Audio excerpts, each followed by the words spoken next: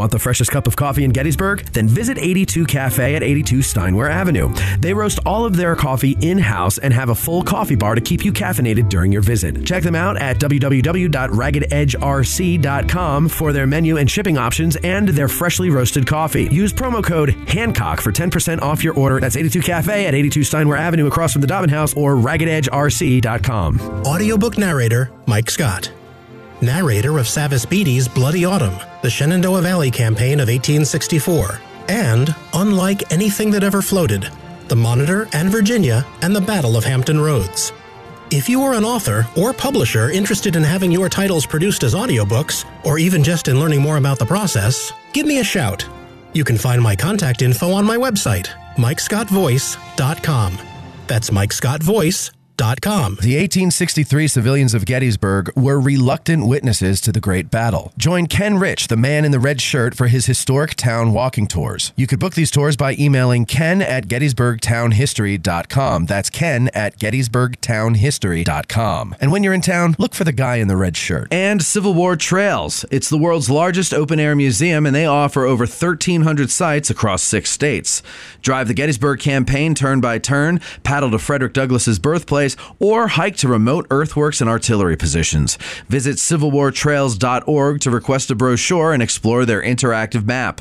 Follow Civil War Trails and create some history of your own. You're listening to Addressing Gettysburg. Hello, ladies and gentlemen. Welcome to this episode of uh, Gettysburg's Ask a Gettysburg Guide. We are talking today with uh, a new guide to the show, uh, Jasan Hileman, and we're talking about uh, it's uh, things that make you go hmm, hmm, hmm, during. During the Gettysburg campaign, um, Jasan, welcome to the show. Yeah, thank you, Matt. it's your first time on. Yeah, yeah. Thanks for having me. Oh, thanks for accepting the invitation. You know, you never know. You, you, you sometimes you want to invite somebody, and then you do, and then they're like, no, just flat out no. And you know, so it's always nerve wracking when I extend that invitation. But I'm glad you took it. Um, tell us a little bit about yourself before we uh, get into the subject at hand here. Yeah, all right. So uh, I'm not a licensed battlefield guide full time. Oh, you're part time, but you are a guide. I am a guide. Oh, okay, yeah, yeah, yeah, yeah, yeah. okay. No, no false advertising. there. it's like, oh god. All I was I got licensed in the 2015 exam. Got the license in 2016, and when I was going through that process, uh, my wife and I we were, what happens if I pass? Mm-hmm. Yeah, because I got a job, right. and uh, they were offering the weekend license at that point. and so that was the uh, the fallback position. Okay, I'm Just going to move I- this out of your face Sure, there. Yeah. If, if that uh, if I go if I get through this, I'll just have to do it on weekends. And back then, uh, COVID has put an end to for right now the uh, tour requirements. right. But for those first few years, you had to you had to meet those tour requirements. Forty five, had forty five tours a year, which As a part time guy. as a, as a weekend. yeah. Yeah. So you got weekend, you got part time, then you got full time. And so I was the weekend, so the forty five. Okay. I think it's 45, 90, like 180. Okay. The tour requirements for those three. But um, since COVID hit, you know, there's no tour requirements. Sure. Yeah. But uh, so, um, yeah, I work my normal job. I'm an electrical engineer. Oh, okay. I work for the utility. To one of the Power- smart people. Mm-hmm. Power, power company. Yeah, I pretend to be. um, but uh, yeah, I've been doing that 31 year career. So the the whole concept was, uh, you know, I really love American history, Civil War history, Yeah. retirement. Yeah, yeah, it's a good retirement Yeah, gig. Keeps yeah. you busy, keeps you active. Just enough. Yes. Yeah. Yes. What I like about it is some people say you staying busy, as busy as I want to be. Uh huh. Yeah. It's, a- exactly. it's good to do it to the degree you want to do it. sure. Yeah. Sure. Keep it enjoyable. And you and you're liking it so far. Oh yeah. I Oh yeah. it, yeah. Okay. What is your if you had uh if people said to you like what's the one thing that you love to talk about regarding the Battle of Gettysburg? Your one subject, your one whatever. I, really like the farms. Yeah. Okay. Yeah, yeah. So I did. I, I've completed one research on uh, the Moses McClean farm, Okay. but but that whole the history of the land, whose farm it was, you know, I started asking questions shortly after I became a guide. You drive down the Emmitsburg Road, and you've got Sherfy Farm over here. You've got Klingle over here. Where's the property line? Is that? Like, Whose field is that one? Yeah. And I'd, I'd ask some guys, you know, like, where's the dividing line between uh, Henry Spangler and, and uh, Sherfy? Sure. I don't know. Why you need to know that? Well, then you got the Rogers Farm too thrown yeah, in there. yeah, yeah. You got the Rogers Farm. Yeah. Well, where's the property lines? Like I can't picture it in my mind. What do you need to know that for? You know, but 'Cause I wanna. Just, it just impresses across my mind because I grew up in a rural area of Western Pennsylvania, Mm-hmm. and your land, your farm, that's that's what you care about. I mean, Sure. those farmers, It's your mean, that- life. That's everything. That's Yeah. your life. And you always ask permission. You know, I'm a hunter, and you always ask permission before you step foot on somebody's property. So I'm always interested, like, whose property is this? Uh, you know, is this this person? I need to go ask there or whatever. But uh, I like the farms. Then linking it to who was there at the time, because so many of these farms they're owned by somebody, but that's not who was living there. You know, There's got these tenant farmers, you know, and um, then what happens during the battle, and then I really love linking in all those decades after how Yeah. to become national park. yeah, yeah, Yeah, because there's a whole storyline after that, sure, you know, and uh, you know, linking it into what we call battlefield today. right. Yeah. That's uh, kind of along the lines. I, I'm I'm kind of becoming more obsessed with uh, old roads, park roads or farm lanes or whatever that, and how they went, and you know, like by the Trostle Farm, uh, the the the the road there used to be a little more to the south, Yeah, and you know, and now it's the horse trail. Like I just think yeah. that stuff is cool. That's cool. know? Yeah. And, and, and then when you get to that, the, the history of it and the history of the park, and then you find out, well, that's the way the Fifth Corps headed toward the wheat field, you know, or the Second Corps. Mm-hmm. Yeah. know, that's the way they came. Then light bulbs go. Ah, Yeah. I get it. Yeah. Yeah, because it's Yeah, not. I mean, it's very close to what it was in '63, but it's not, of course, what it was exactly Right. in, in 1863. So it's, uh, the, but there's evidence of what it was there if you know where to look and you know what you're looking for. That's right. And then, not to mention the park roads. You know, like uh, uh, what is that? Uh, was it Webb Avenue up uh, by the angle? Right, the, the the loop there. The loop that went in, Yeah. Um, and then the the straightaway below that, um, by uh, is the Harrow's Brigade plaque that's facing the wrong way. Yeah. yeah, that stuff fascinates me. You think it's facing the wrong way today? Today, I, I just did. We Yeah. were we were doing a walk on uh, monuments, and I had the, an old picture of the U.S. Regulars Monument that they just restored. yeah, Yeah. And when you look at that monument and how it has stairs Uh-huh. down both Yep. sides, you think, why would they put stairs down toward the other? the stairs to there nowhere. was roads on both sides. Yeah. that was between two roads. Right. It's designed that way, and when you see the picture, oh yeah. Yes. But it's easy if you- if you just visit the battlefield in the last 20, 30 years. These are things you don't. you don't think of you yeah. you You, think you think it was always this way. It was always Yeah, way. like Little Round Top. They used to be able to drive your car right up there, right up on the summit. You could drive your car. Chamberlain Avenue, Yep. right around. Yeah. Are they going to put that back? No. no, they're not putting. It's just going to be a walking. Yes, it's just walking up there. Uh, from what I understand, they're shoring up what we already have, and and hopefully uh, formalizing some of the uh, social paths because uh, Yeah. I think those are important. All right, well, so today we're talking about uh, things that make you go hmm, hmm, in the.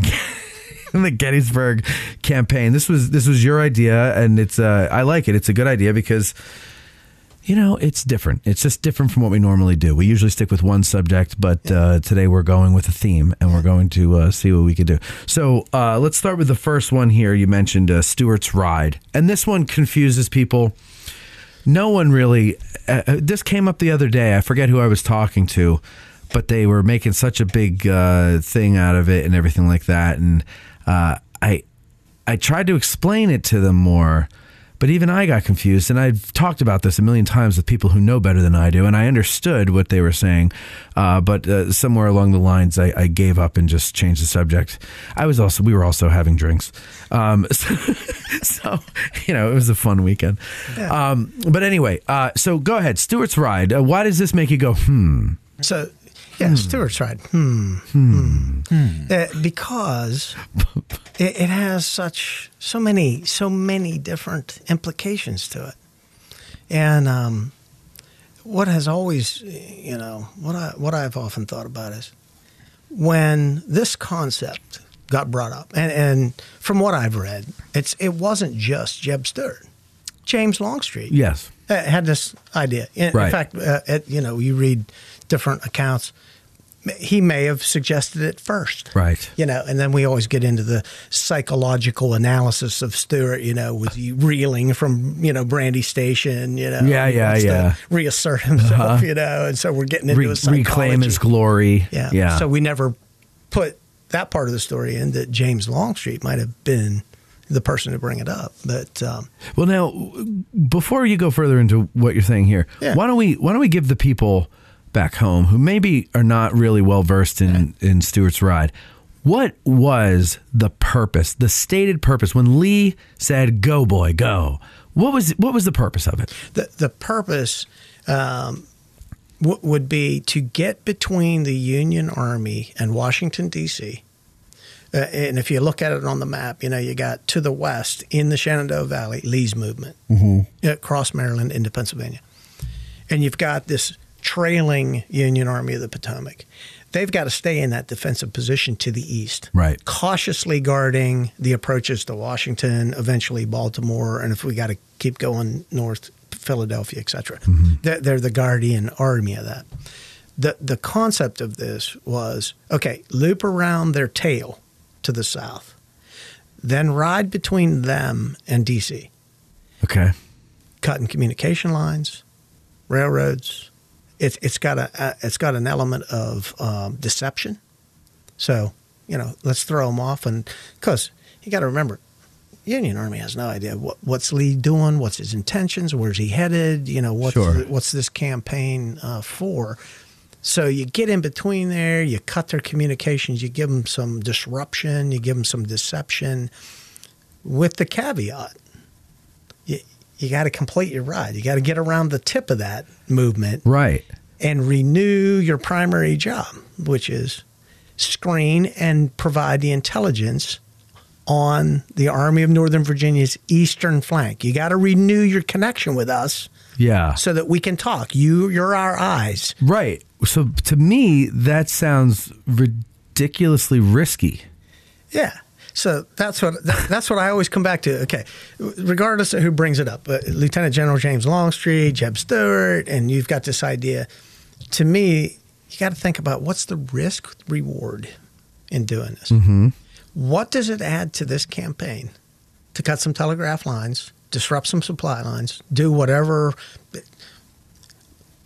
We you talk about not to get into fantasy football, but you talk about making your picks, right? What's the ceiling? Yeah. And what's the floor? Okay. In this pick. Okay. How, how good could it get? And what's the worst it could get? So you always assess what's the ceiling and what's the floor. And when I look at this, that that part of this campaign, I can't think that the ceiling's that high. That's what I'm going to say. doesn't Yeah. win you a battle. That's No. not going to like And it's not how long is that going to delay the union for? yeah, like what's the best ultimate result you could get from that? How great could it get? And then you look at how bad it can get, and that's the that's the reality we live in with the campaign. Is it got bad? It got bad, but it didn't get worse. It like it could have been Stuart was completely wiped out or, It- it- or captured or whatever, but useless you to late. lose the that Yeah. asset, all those assets. Forget, not even not, not forget about the men. Just Stuart himself. You could lose Stuart Yeah. if you lose all those men. Yeah. and uh, and and and you know, as I've been made to understand, it what you know when we when people say, "Well, Lee didn't have any cavalry here," and we we well, that's not true. He did have cavalry. It was Stuart that he was lacking. Stuart's um, ability to collect and analyze and distill information and report it to Lee. Yeah. That's what Lee was lacking. That's what he was missing. That's what he needed, and he didn't have that. I mean, to me, that's very ri- like I would have flipped it around. I would have had like, all right, if I'm just going to go cut some telegraph wires and and you know confuse the Union.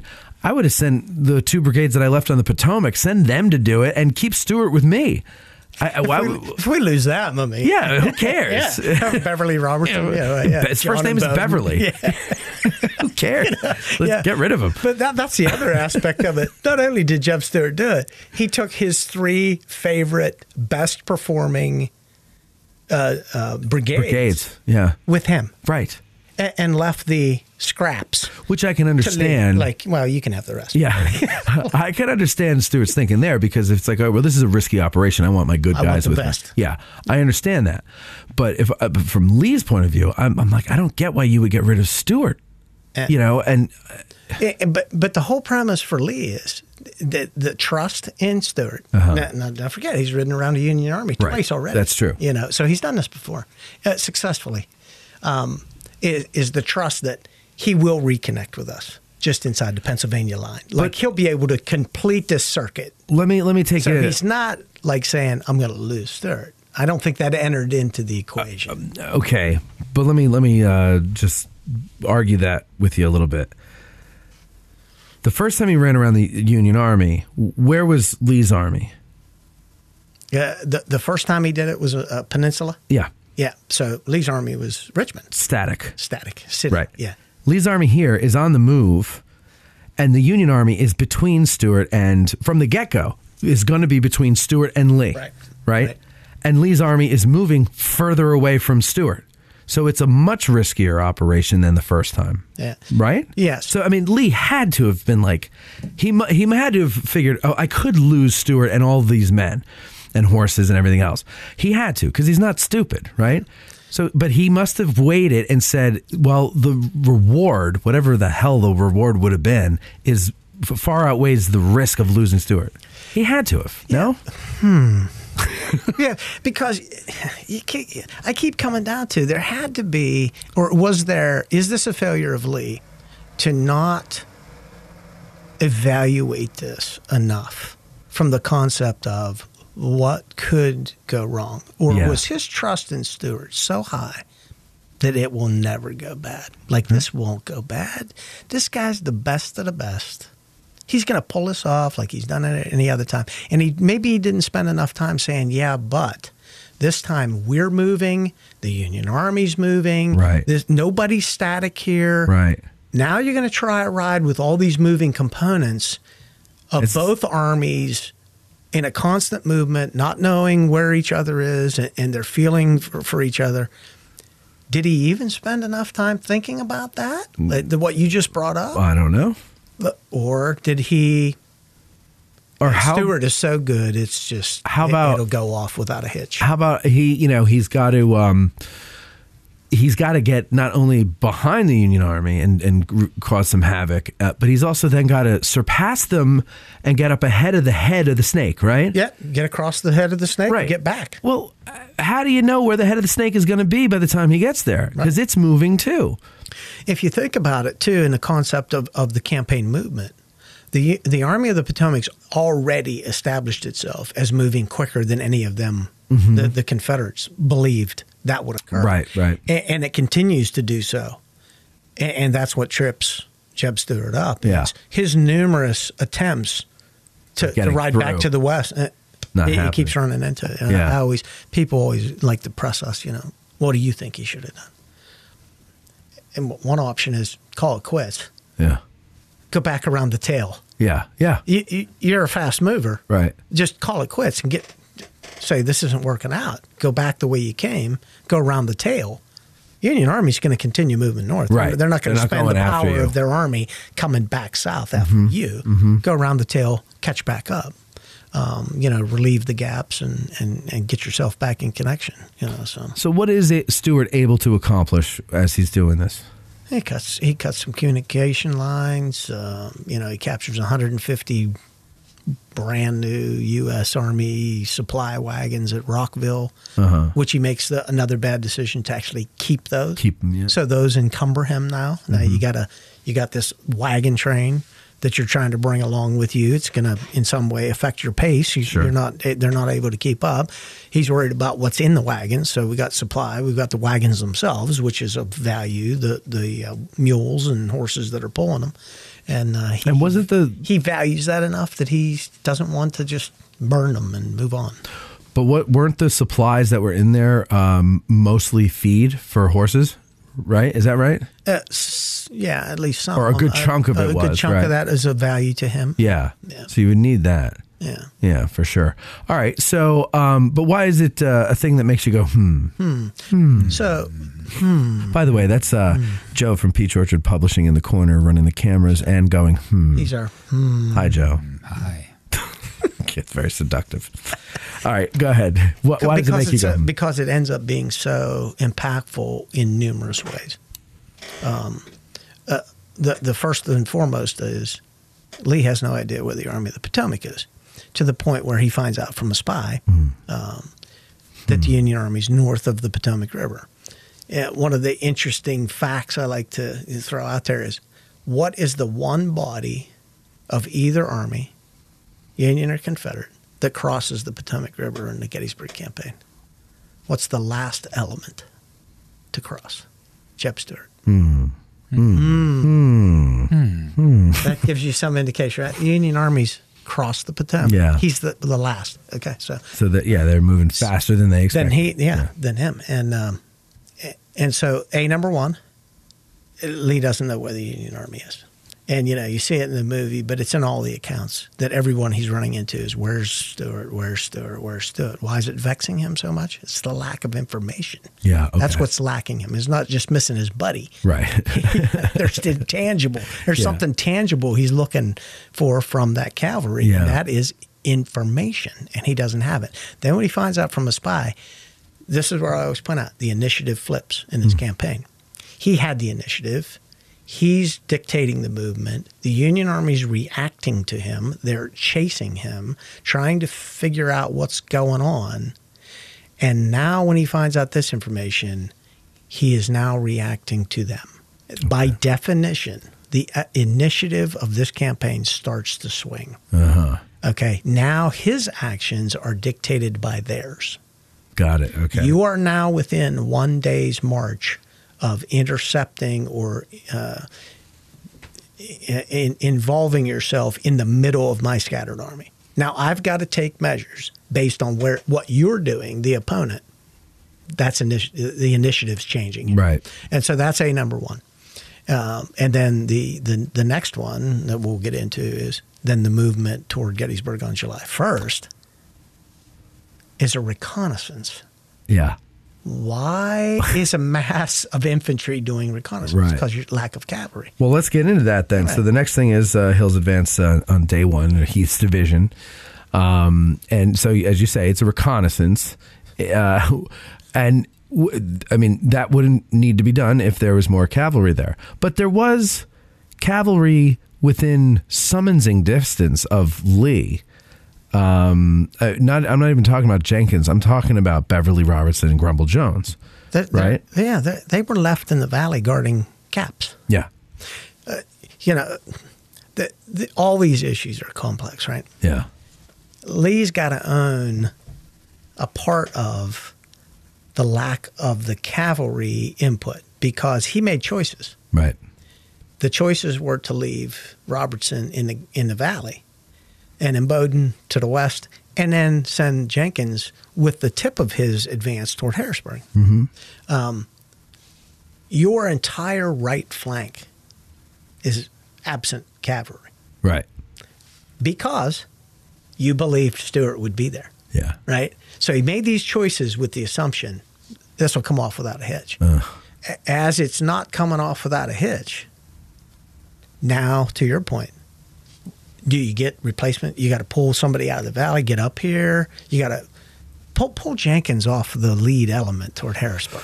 Right, Really? right. Is there any danger up there? No, Do there- you really Yeah. need that that body of leave cavalry? one of his regiments behind and then bring the rest down to Heth or Yeah, something. I Yeah. think the closest like reaction for me would be get Jenkins off of Ewell. Yeah. Get, get him back down this way. Mm-hmm. Get him out to the east, and and let's get some scouting going on. Um, so that that's what I think. And Lee's got to own a part of all this because he's making all that decision. I think Stuart's off doing his thing. Now, what are you going to do with the rest of your cavalry that you have? Uh-huh. Um, you know, cavalry comes through Gettysburg uh, July 26th with uh, Early's advance. right. You know, got the um, 35th the the com- yeah the uh, White's Comanches. White's Comanches come through. So there's cavalry in the area. But they're leading some advanced elements of infantry on their foraging, you know, expeditions. They're not doing the larger scale. Go check out the Union Army and get us information on where they are and what, and what that is. But you know the hmm about AP Hill's advances. Okay, it's reconnaissance. Two divisions, artillery. Yeah. That's quite a reconnaissance. We let me say it's a reconnaissance in force. In force, yes. really? Hmm. Okay, you have the orders do not get into a general engagement. What do you need two divisions for? Well, and the day before you sent one brigade, and the guy comes back and says, "Hey, there's Yankees out there," Yeah. and you don't believe them. But see, it tells me that they maybe they were erring on the side of caution, but at, maybe they believed. Well, okay, this isn't what we're getting from Lee, but maybe he's right because he was just there. Right. Uh, and he's been around long enough to be able to tell, and he's surrounded by officers who can tell, you know. So maybe he's right. Let's send the whole division in tomorrow. But my whole thing would be why? Why do you need to send the whole division, and why can't you just stay where you are Right. and send, you know, maybe send another brigade or just a regiment, whatever. Send something up there. And in Buford's report, they know each other are there. So Buford's within a couple miles of, of Hill's encampment out of Cashtown. Mm-hmm.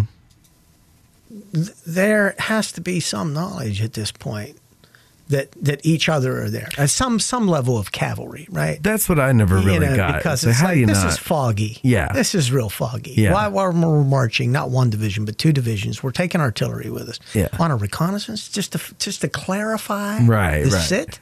We're get, we're getting the situation clarified. That's a, that's a pretty powerful uh, opportunity there. Eh, but but you know, and maybe in Heth's defense or Hill's defense or whoever's defense, if they did know that Buford was there, that a whole cavalry division was there, um, maybe they wouldn't have all come down the same road. Maybe they would have come via the Fairfield Road or something to like split up. Yeah, right. Splits to two half. You know, a half of the division go down one, half of it goes down the other, um, in case it's true yeah, and we don't want to get bottlenecked on this one road. So let's. I think that's a fair analysis because if you think about it, if you're looking at it and you're second guessing, we're not getting all the facts from you because we've got the AP Hill, you know, shoes report. Right, right. The, the Heth. It's, yeah, the, yeah. The, yeah. But we I thought there was a supply of shoes in the town. Hmm. Joe, is that a hmm. shoes? Is if you if they're really thinking about getting into a fight, yeah. wouldn't they do that? Yeah. You've also got the the the uh, cut around to up to the Mummasburg Road. Like, Uh, yeah, like early. honestly, you could have like three early, roads, You, you yeah. could have had three approaches. Yeah. If you want to really take a tactical advance on it, Yeah. uh, and you really think you're getting into a fight, I think that's a fair logical analysis of it. Of, well, I don't know that they really believed they Yeah. were going to get into a fight. So maybe they, they really didn't believe that they were going to get into a fight. Maybe they really didn't believe that it was, you know, the Army of the Potomac and they thought it was local militia or something. Yeah. Or maybe, well, maybe it's a little Heth- bit of Union cavalry, but it's not much, right. and we'll just brush. It aside. We'll it just back. brush it aside. Yeah, Or maybe Heth is not the military genius that I just proved that I am. that's yeah. So there you go. Hmm. Hmm. That's hmm.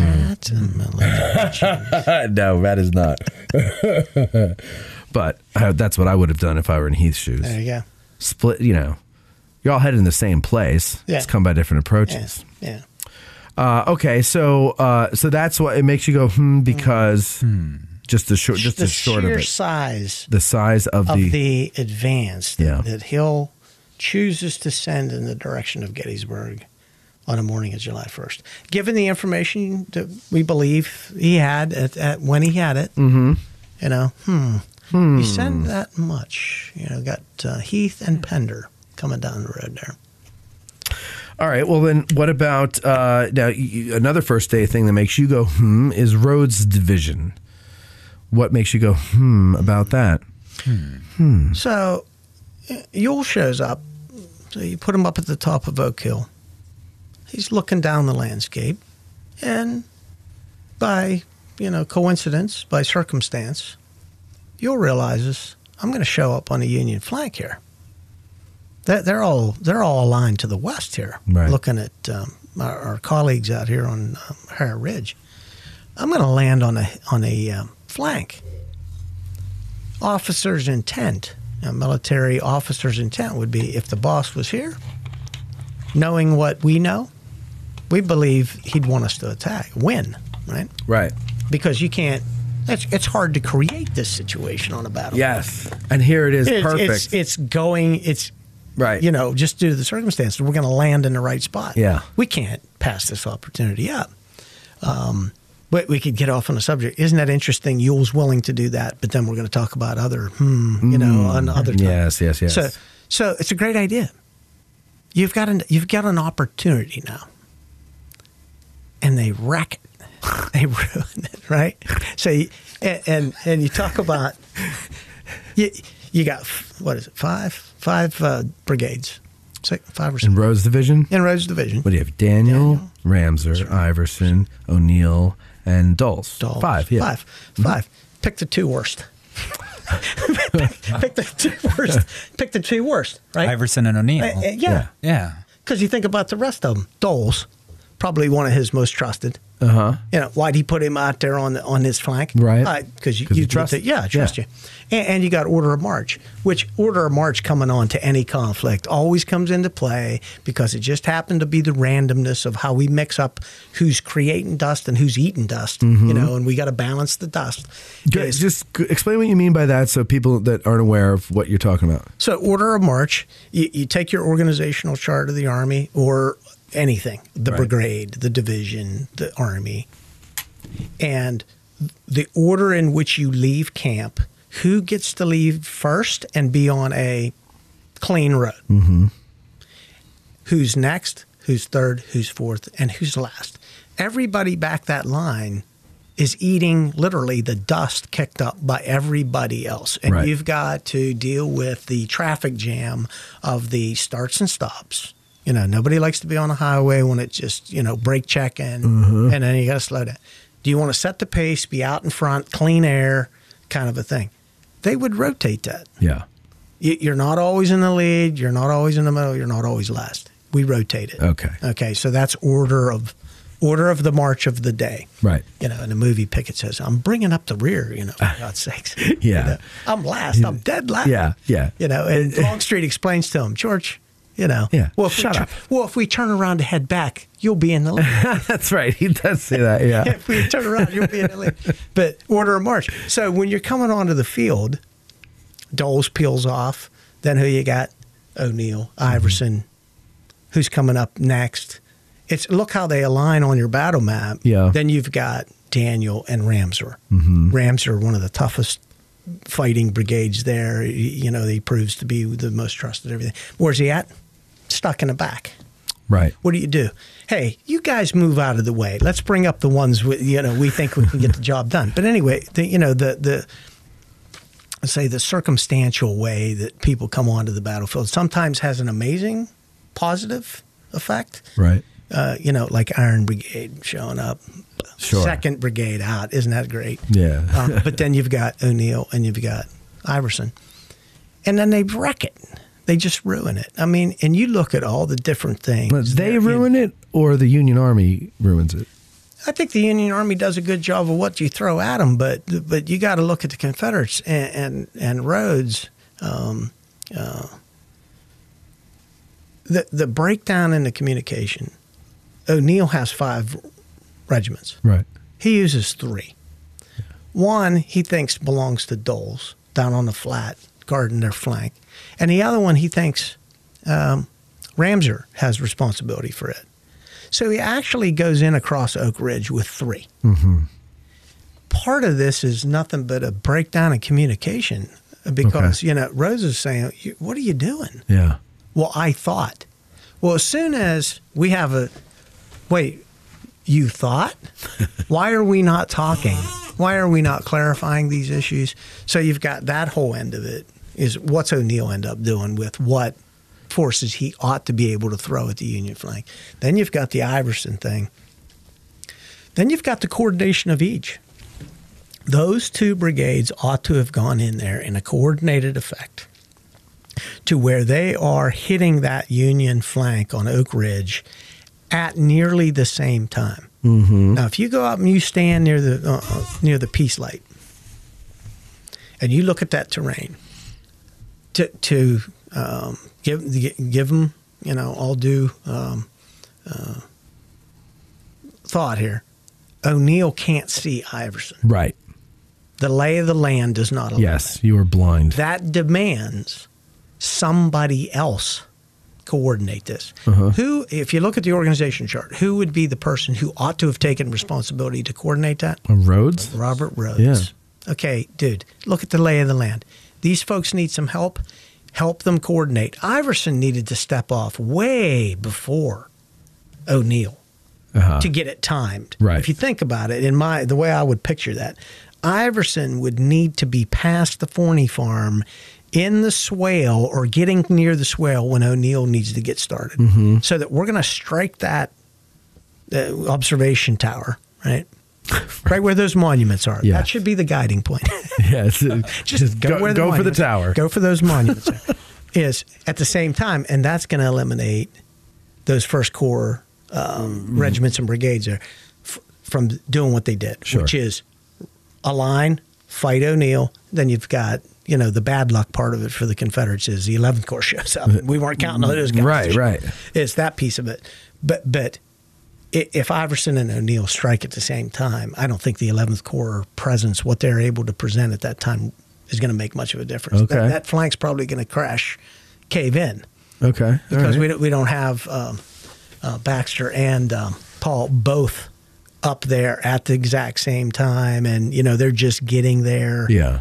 That, that would be a tough argument. That if you would have coordinated that properly, you, you might have got the, you might have taken advantage of the opportunity that was presented you to you by the circumstances. So Yeah. so Rodes, hmm, what are you doing? Hmm. What are you doing here? Hmm, yes. Right? Okay. Um, and then uh, you got uh, Lee's confusion of orders from July 2nd to July 3rd, right? Right. Let me let, before we get into that. Here's the hmm that I have, right. and maybe you can, if you find it a hmm too, you can go into it more. Captain Johnston's ride. Hmm. Hmm. Hmm. We you know What do you think of that? man, the, you know, where where did he get to? W- w- One thing that we don't argue about is is the picture of what he told. Is it looks like a horseshoe. Is that Union flank hmm. on Cemetery Ridge ends before it gets down near those hills, those hills to the south. What we're conjecturing about with Johnston is how did you arrive at that conclusion? Yeah. Because everything after that, well, that predicates Lee's orders for the second, Right. Which is okay, they got a flank in the air. I'm going to make a movement with a large body of forces, and I'm going to hit that flank in the air. Is the, the missing element to this, and when you play that out, is between I always say 4 a.m. was the scouting mission, 7 a.m. they returned with the info, 9 a.m. the orders were written. What is it? 11:30 to noon ish. Longstreet gets there. Mm-hmm. How many hours are we talking about? This is a developing situation. Both armies are on the move to try and get to the point of contact at Gettysburg Right. you, they would never have seen the Fifth Corps. They, they didn't see, you know, um, parts of the Third Corps. We, that's a piece we're always, you know. Well, if you got the little round top, how could you not have seen Yeah. Sickles in the valley Yeah. where they were, you know, encamped? Right. Uh, how'd you miss this? Or the Signal Corps. Yeah. Yeah. yeah. How could you have said the hill's completely unoccupied? Maybe he got as far as Devil's Den and just looked and didn't see anybody and was like, okay, you know. Well, and he uh, Johnston has this account that he made it to the top of this hill. Well, people look at it. Maybe it was Bushman Hill. You know, you come around Yeah, to the yeah. south, you come across the Emmitsburg Road. Is it Bushman Hill that he gets to the top of instead of the big or the little round top as we know it today? Because if you can put Johnston on little round top, this is the hmm, how could you have missed the third corps? yeah. But the the issue is it's still a developing situation. There's going to be a third corps. There's going to be a fifth corps. Where's the twelfth corps at this point? Right. Because like then part of that is well when when was that division of the twelfth corps dismissed from the north slope of Little Round Top to head to Culp's Hill? Well, that's Sickles is supposed to replace that. Yeah, you know. and and so that because we, did an episode on that once with Chris Army, and um, I posed the question to Chris. I said, couldn't it be possible that he did get on Little Round Top in that time? when yeah, like that tiny little sliver of time. Yeah. When the 12th Corps was gone and the third was on its way. Yeah. Maybe. Who knows? People said about maybe the fog in the valley. How much fog was there on the Yeah. morning of the second? Does that obscure the view? Do you not hear, um, you know, the rustle, the noise of camp? Mm-hmm. You know, Campfires, maybe? Do you see and smell them? the, the Smoke? clinking and Yeah. clinking of cups and stuff. Yeah. Uh, people moving around. They're just going to make no. How you know, it, it, all the questions about. And Buford's cavalry's out on the Emmitsburg Road, isn't it? Yeah, that's always this mysterious. you know, they look left, they look right. It's coast is clear. Go. You know, and they go across the road. Nobody sees them. It's kind of like a Hogan's Heroes. Yeah, yeah, yeah. Looking left. left Yeah, that's funny. Yeah, Yeah. But, but they don't report that, that hey, we had to avoid Union cavalry, Right. So then it starts to be, do you mean you got so lucky? Kind of like one of those things where you just you for, you miss the stop sign and you blow across a And you highway, miss some- a truck that just- yeah. There just happened to be no traffic Or- or at yeah, that time, yeah, so yeah. no, you didn't see anything. Is did you just happen to cross? When those pickets were had passed and they're looking that way, nobody sees. Because you right, go across. Because it's not just Buford's men sitting on the Emmitsburg Road. He has patrols going out on the uh, pumping station road or whatever that they- Millerstown Road. There would be movement. Yeah, Yeah, they're, they're not just sitting there. No, they should be riding back and forth. You're, you know, Yeah. you're, on scout, you know, Yeah. back and forth. So yeah, I mean that's a lot of things that he just slipped right through. Through. and he's on horseback, right? Yeah, and it's more than one. Right, it's a couple of It- them. it's it's Johnston and two or three, at least two or three more, Right. Uh, that are together because then you, you have, and the post warriors that then they're trying to talk to the other folks who were there. What do you remember? Mm-hmm. How- you know, what did you see, and where do you where do you uh, say that you were?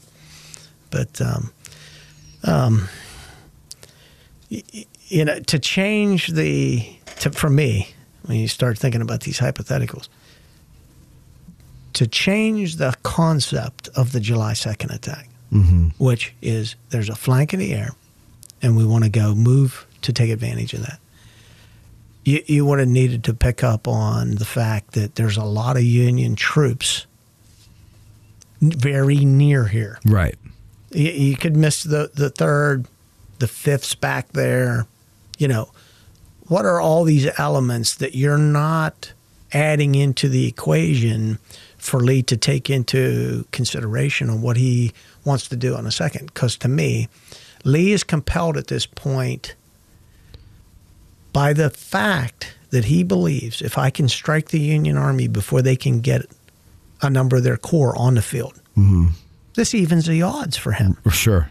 he is knowing I do not have their numbers.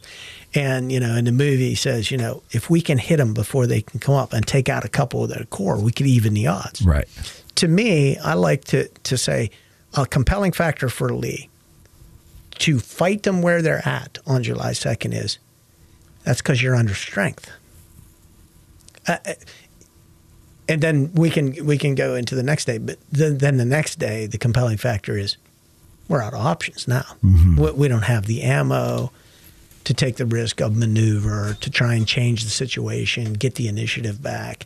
You run out of ammunition in the act of doing that, you, you have to call it quits anyway. Right. The compelling factor for the next day is fold up the tents and call it a quits that this didn't succeed. This campaign's over. Or give it a shot. Give it a shot. D- Do you have an opportunity here to achieve what it is you came here to do? Because it's to me one one thing or the other. Pack it up and call it quits, or try something. Hmm. So, so, but we got off the subject. No, no, no. But so Captain Johnston's ride has always been something because Yeah. I mean it basically dictates what's going to happen on July second. Yeah, yeah. But now you have on your list here Lee's confusion of orders from July second to July third. Yeah. What is that? Yeah, so the the um, premise on the night of the second is Lee's attacks, Longstreet's uh, attack on the Union flank, um, and then Ewell's attack on the the other Union flank, Culp's Hill and Cemetery Hill, is he's had troops at or near the crest. Right. He had troops hand to hand combat on top of Little Round Top. Uh, that came very near to capturing that flank. Right. Then you have troops on top of Cemetery Hill. and, and came very Yeah. near to.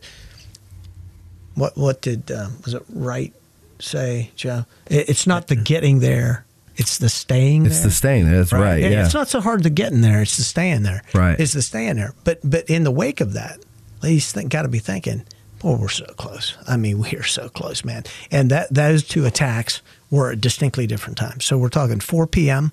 The attack on on the Union left, which is your little round top Devil's Den, the wheat field. That whole thing is coming to its conclusion in that 7 730 time frame Right. when the 12th Corps is being pulled back off of Culp's Hill now, that's going to trigger Ewell. Ewell's attacks aren't going to get going until distinctly after basically Everything's everything's Yeah. winding down in the other. So Lee, in retrospect, looked at this and says, All right, we were close. If we could hit them again, if we could reinforce these two attacks and hit them in a coordinated fashion, Meade can't move troops back and forth. You know, that interior line of that Union position, that blue fish hook, yeah. allows him to transfer troops Yes. quickly. That's the power of that interior line. Yep.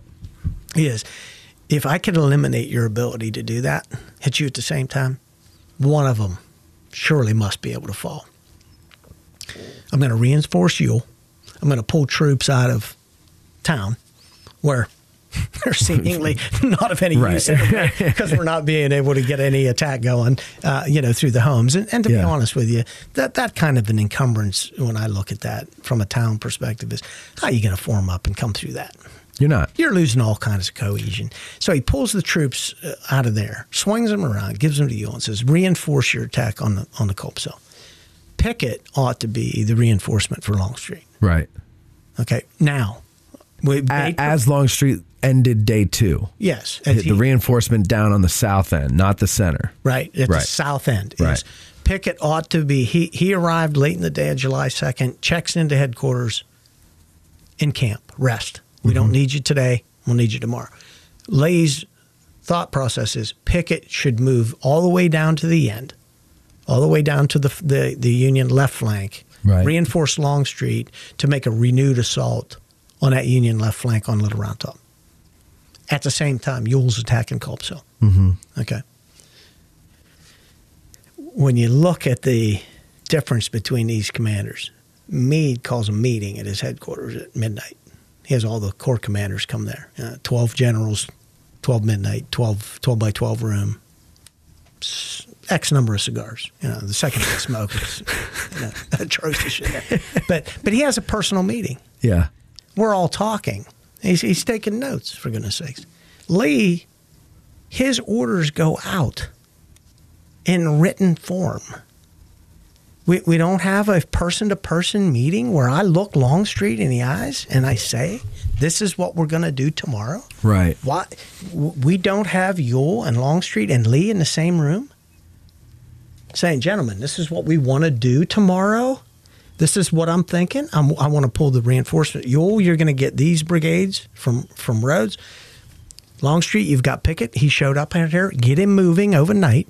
You've got to make all these arrangements. You got to move them mm-hmm. down there. Mm-hmm. Get ready so that at day dawn, we're all on the same page you're both going to have renewed attack at day dawn. We don't talk about this in person. So yeah, so he in other words, he's Lee is talking to Ewell separately from Longstreet, and Longstreet separately from Ewell.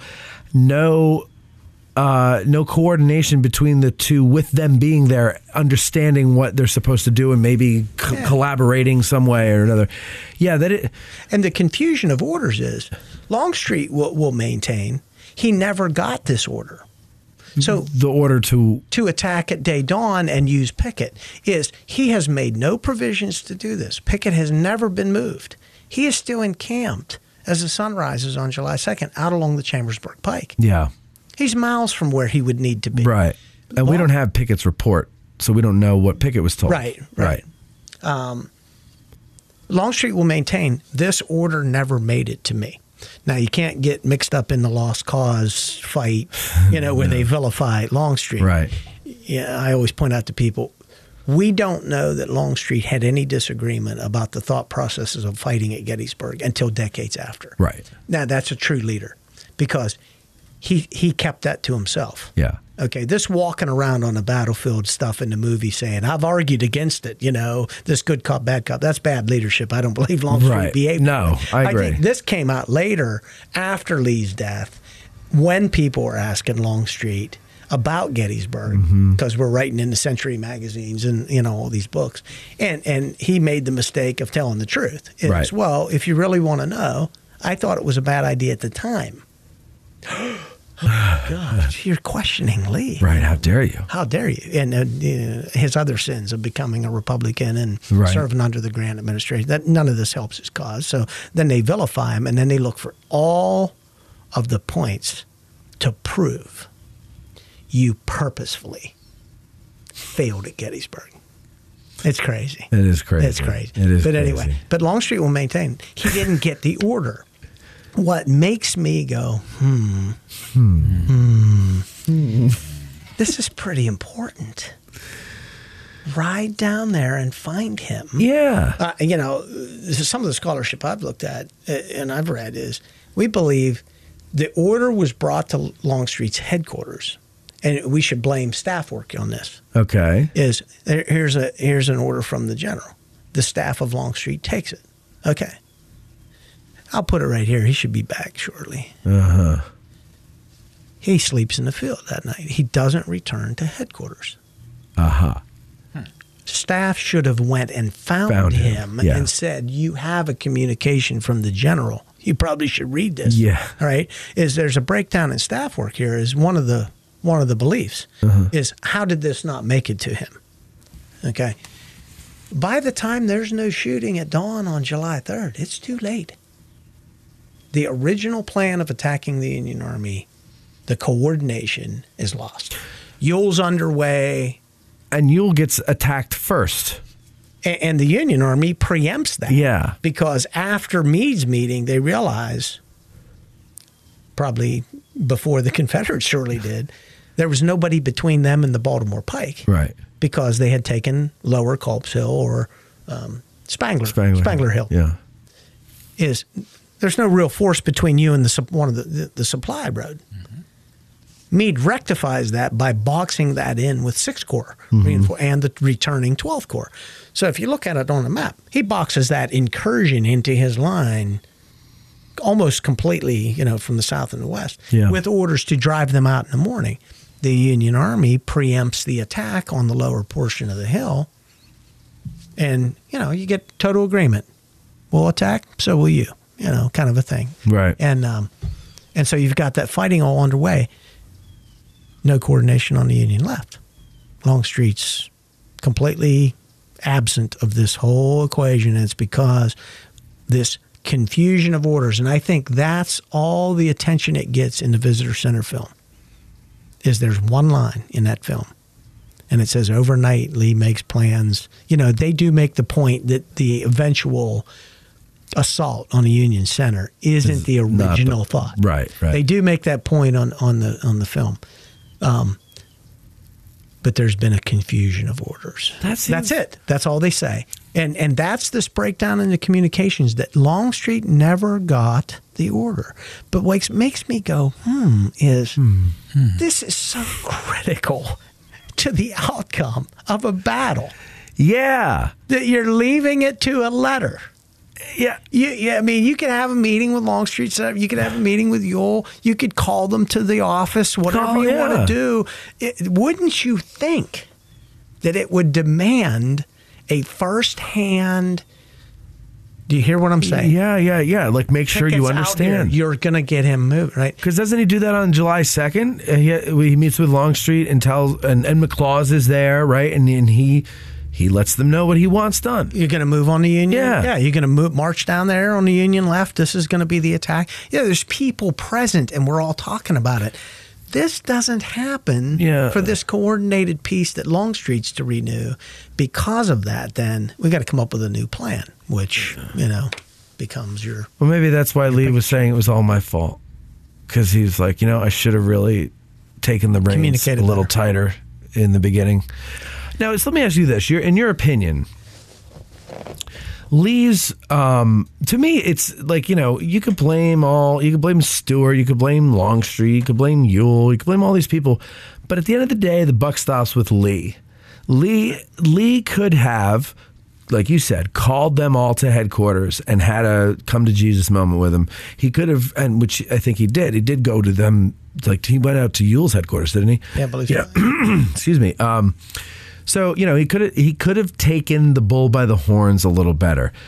Do you think he doesn't do that because well, that's never been his style before? He always had trusted subordinates, didn't need to, um, or do you think it's because he had diarrhea? Because I mean, you know, when your I stomach's hurting, Yeah, I um, th- this come up. We, th- this comes up with some frequency. The diarrhea comes the, up a the, lot. the question of Lee's health, and it started by the uh, yeah. the angina. That's not a hmm. That's a mm.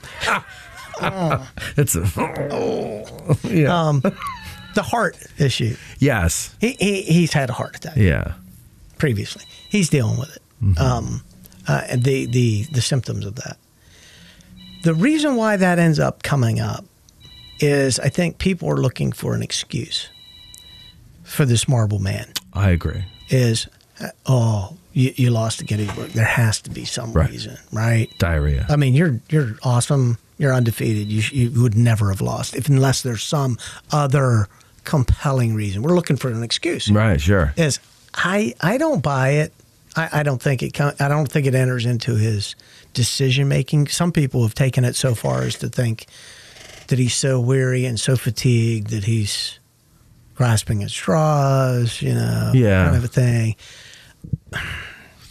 I, I don't think it would be. I, I don't like to input it as as to you know a compelling reason for the outcome of what it was. Do you, do you think it, he might have bit off more than he could chew by invading? Like that he was a better defensive general? I think, I think so much of the way it plays out goes back to that the Jeb To the what? to Jeb Stuart. Oh, the, to fir- Jeb the first hum, you know, hmm, Yes. is you know when that initiative flipped. Yeah. It, now you're not dealing the cards. He's They're reacting dealing- you're reacting Yeah. to it. The, you know, the day one plays out as it plays out, and, they, uh, the Confederates win. Yes. They, they bring it to bear. They, they they land on the flank, and they win that fight. Right. And you've driven them from the field. You you uh, um, uh, you you inflict more casualties on them than they on you. And that's pretty that's pretty compelling when you're the attacker. And, Right. You know the three thousand you capture in the town swings the the tail there. Nine thousand Union casualties to seven thousand Confederates on on day one. So you win by both main measures: who controls the field and who uh, Inflicts. inflicts more casualties. But both to Lee's army. He's won day one. Right. Then you, you get into you know the hill wasn't taken.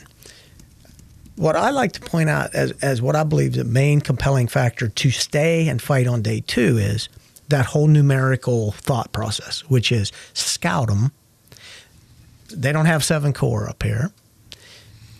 I- I'm probably closer to my full strength than they are to their full strength. okay, Uh, of what you're really going to put in the field at this point. You're talking infantrymen. Especially those two corps that are left over from July 1st. They're like basically nothing. Uh, yeah, they're Yeah. hammered, right? Yeah.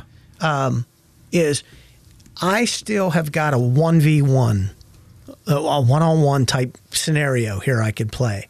I, to me, Lee's got to be willing to take that. Right. I, I'll take a one on one, us against you in any of these scenarios if I can get it. And I think that's his compelling thing for staying and fighting on July 2nd is neither of us knew we were going to land here. Okay, we ran into each other. Now, as it's playing out, I still think I have an opportunity to get at you when it's closest, still close to one on one. Once that doesn't work out on July 2nd, as I said, then the next compelling factor is what are my options? I think it, if you look at all the different things, you know, and Longstreet would argue about maneuver. Mm-hmm. Longstreet's argument to maneuver is to try and get the initiative back. Right. You get into a fixed position, make them attack you. Lee's worry about that is a disconnecting from his lifeline back toward the valley is he can't let the Union Army get between him and it mm-hmm. because his avenue is not toward D.C. to go back home. Right, To go back home, you're going to go back to the west and down the valley. Yeah, he needs to keep that open. I need to keep that open. And the other thing is, um, in the act of maneuver, how much ammo do I expend to the point where I don't have much left to even fight you? Yeah. So it's over anyway. So if I'm going to do something, I have to stay and get it done today. The enemy's there. I will Then- attack him, and I will Yeah. attack him. There is is we're just about out of ammo, you know. But what always boggled my mind, though, was that you know Lee spent uh, you know a good portion of his career prior to Gettysburg on the defensive, uh, uh, occupying good positions. Like I'm thinking of Fredericksburg in, in 1K. I mean, that's a great position. And now, how is he not seeing that the Union Army on the second day is now in the good position? And and yeah, okay, you did well on the first. You think you might still be closer to your full strength than he is to his, but he has way better ground than you. You're going to have to attack. Uh, uh, and they're they're on hills, they're on ridges that are better than the ridges on July 1st. So how like Lee it, it, it what's so weird to me is that it seems like it's his first day on the job this battle. Well, the the scouting though, Johnston told him that's not the case. That Union flank's sitting on a, a Okay. pretty flat spot, The left, but, we still can get at that left. you have Cemetery Hill though.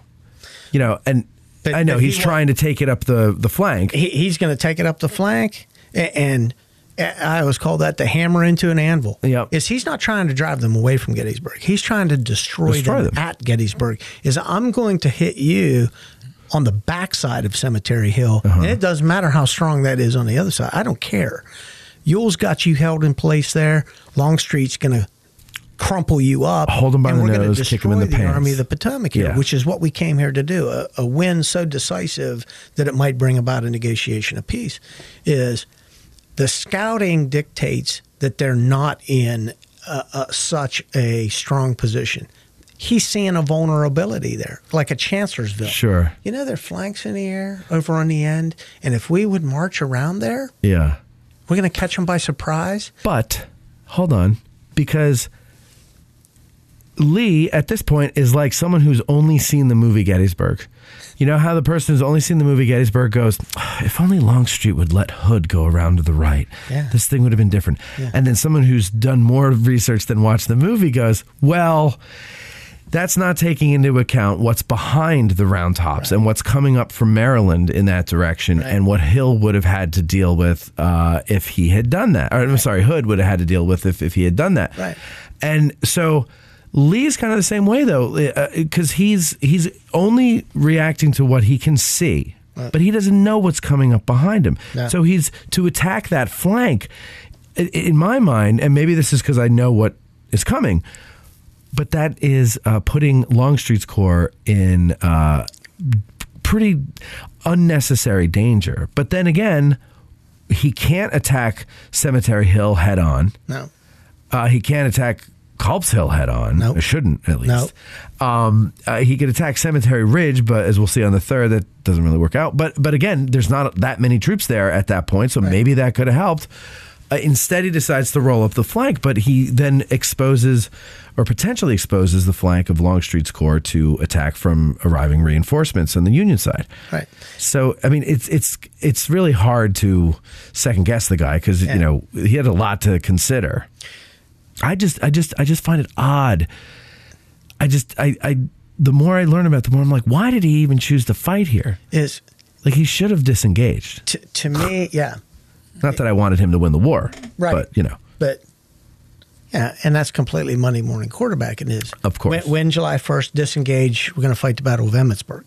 You know, Right. That's where the that's Yeah. where the decisive battle was. right? He, he's got to fight here, though. I mean, know, no, he I know. Has to. I mean, he's got Yeah. Grant Scott Pemberton bottled up in Vicksburg, and that's the whole reason that Lee came north, right? Got to win a decisive Yeah. Great point. Yeah. Lee had that meeting with uh, Jefferson, or, yeah, with Davis Jefferson before Davis, he before he began this campaign, Yeah, and was yeah. given that choice: go relieve Pemberton or go do your thing.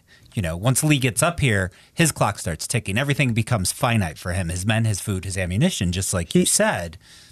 And here he is. This is it. I, you know, you're right. Like he has to have that decisive battle. Victory. I just think he should have tried to find a different piece of ground. It, it for me, July second is urgency. He sends those scouts out at hmm. four a.m.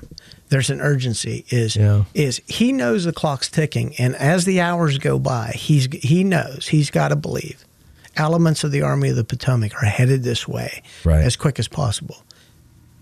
Why doesn't he know exactly where the elements of the Army of the Potomac are? Stuart. Jeb, Hmm, right? Yeah. Then we get orders. Longstreet's not all up. He's actually got to wait on the on the, the elements of his, his divisions to show up. Pickett's over the mountain, so he's not going to have Pickett. So he's got Right. two of his divisions.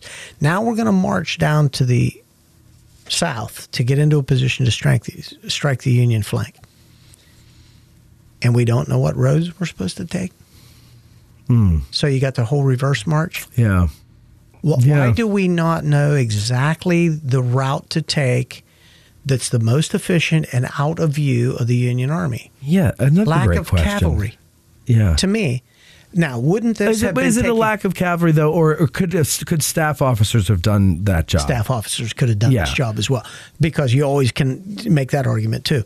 E. e. Porter Alexander got down there. Exactly. And, and James Jim Hessler does a great job on that reverse march. He says, you know, he added up all the horse and, and, and the wheels Yeah. that went through the field over there on, on the ridge, Right. where he cut around. They should have made a mark. Okay, you you don't have to be a, a, an expert Indian scout to see where you know several thousand horses cut through a couple fields. Right. It's- doesn't that make you wonder who went that way? Yeah, yeah. And Do we really have to turn around everybody and go back the other Right. way? Can't we just go to that? but urgency, urgency, urgency, because the clock is ticking.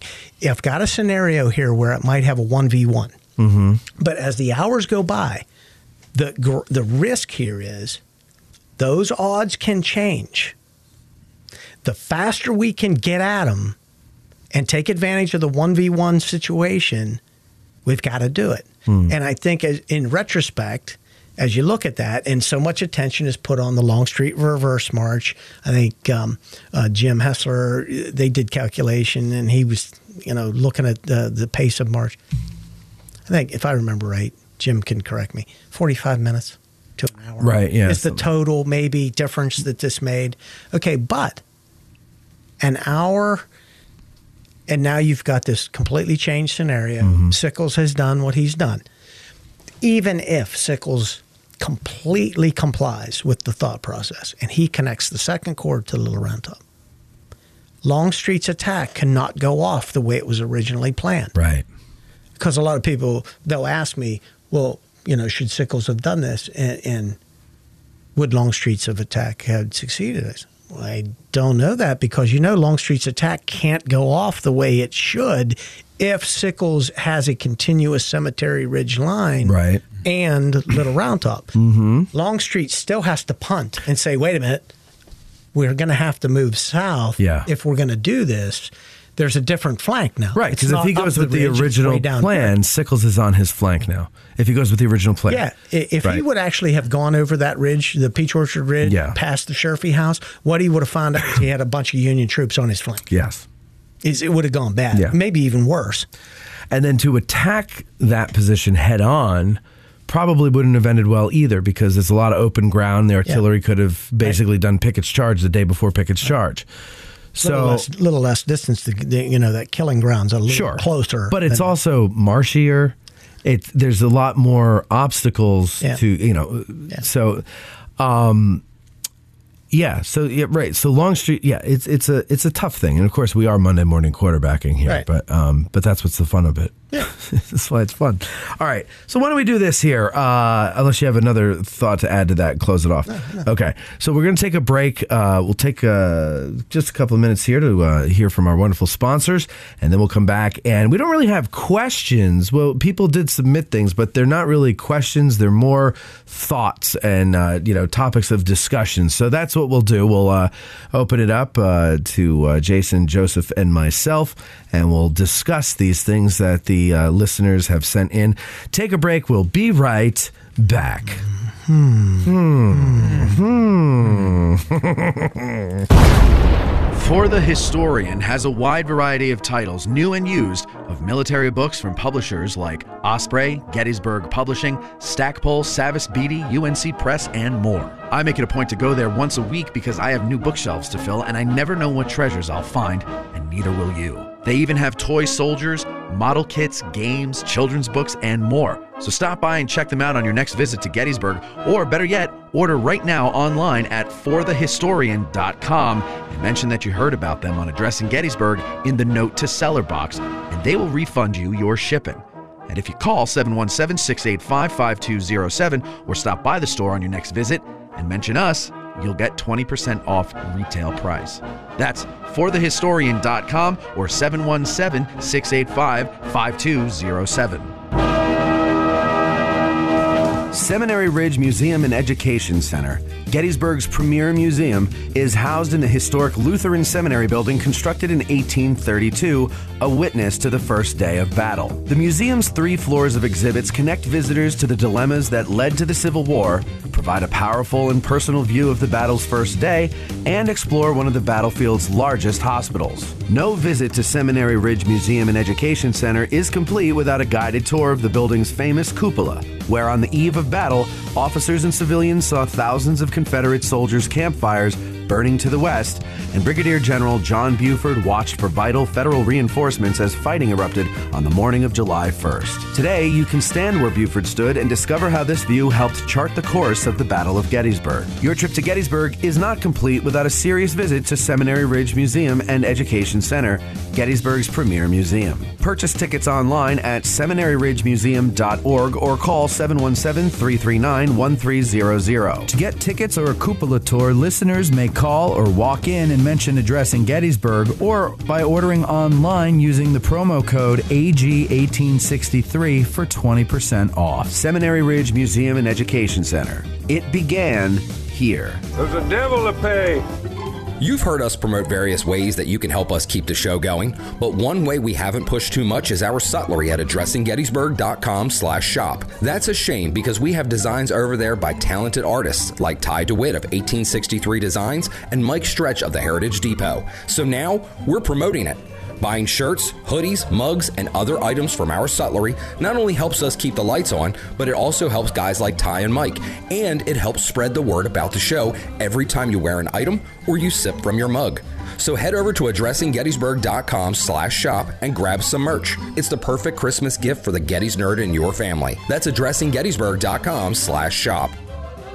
Ever wanted to be a part of a movie production? Well, now is your chance. Hope Kelly is still struggling with heartache several years after her abrupt life changing decision to buy an apple farm outside the small town of Gettysburg, Pennsylvania. But the loneliness of isolation gradually replaced the peace she initially found on the farm. Sent reeling when her fiance left her for another woman before a previous Christmas, Hope has sworn off Christmas and relationships. But when her brother Ryan's old army buddy Nick shows up to the farm and is immediately taken with Hope, the temperature starts to rise. Still, it will take a Christmas miracle in the form of Charlie to help mend Hope's heart and allow her to trust again and find love. Join writer, producer, and director Bo Brinkman in the production of A Gettysburg Christmas with named talents like Jake Busey and Lee Majors. The script has tailored scenes to shoot at specific locations to highlight the beauty, history, and capture the Christmas spirit of Gettysburg with the goal of inspiring viewers to visit in droves. Those of you who have been wanting another movie to revitalize interest in visiting our awesome town have finally gotten your wish. And now you can be a part of getting this project off the ground. Bo and company are turning to you, the citizens of Gettysburg and the lovers of Gettysburg, to make this grassroots effort work. No Hollywood BS, just pure Christmas joy and romance. Just click the link in the show notes to get started or go to GoFundMe.com and search for A Gettysburg Christmas. Hey, Gettysburg business owners. Winter is just around the bend, and you know what that means no tourists. But just because people aren't coming to you doesn't mean you can't bring your business to them. If you ship, you're still in the game. And if you're a seasonal business, the time to advertise for your next season is in the off season when people are making their plans. So, what's an affordable yet highly effective way of reaching those people? Well, it's not radio, It's not TV and it's certainly not print. Step out of the Jurassic era of advertising and run an ad on Addressing Gettysburg. We just reached 1 million downloads and we're growing by the tens of thousands every month. Beyond that, our audience is happy to support those who support their favorite podcast. So email sales at Addressing Gettysburg for more information about advertising on our show. We look forward to helping your business grow. That's sales at addressinggettysburg.com. You're listening to the Addressing Gettysburg podcast with Matt Callery. Okay, and we are back with our guest Jasan Hileman, and uh, we've got some, uh, like I said, some topics of discussion, not really questions this time, from uh, some of our patrons. If you would like to submit questions, or in this case, topics of discussion, uh, you need to be a patron at Patreon.com/slash Addressing Gettysburg. Uh, not only do you get to ask questions, but there's plenty of other perks. Like, for example, when we hold uh, live events, whether they be shows or Christmas parties or whatever it may be, you get uh, notified of it ahead of time, number one. Uh, you get uh, to buy or sign up for tickets um, before the general public, also. And when it is a pay event, uh, your tickets as a patron are cheaper. You get a discount um, for being a patron because, uh, well, you keep us going. So we want to uh, pay you back somehow. And that's one of the ways we do it. Starting off, though, here we have Robert McGee. He says, My biggest hmm is that Gettysburg has to be the most studied battlefield event in American history, and yet the more I read, talk to others, and even walk the battlefield, the more I realize the incredible amount of things that we simply do not know. And maybe worse, that so many of the things we thought we knew might well not be so makes you wonder how much we really don't know about the other moments in military history that are not as intensely studied.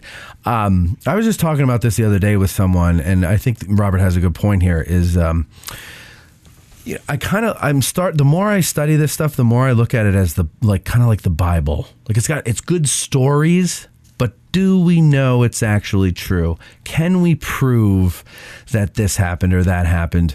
Uh, in some cases, of course, we can. You know, there's there's a lot of, but it, it's the smaller stories that, and of course, I don't have one on the top of my head right now to to give you as an example, but it's those smaller stories that that a lot of people.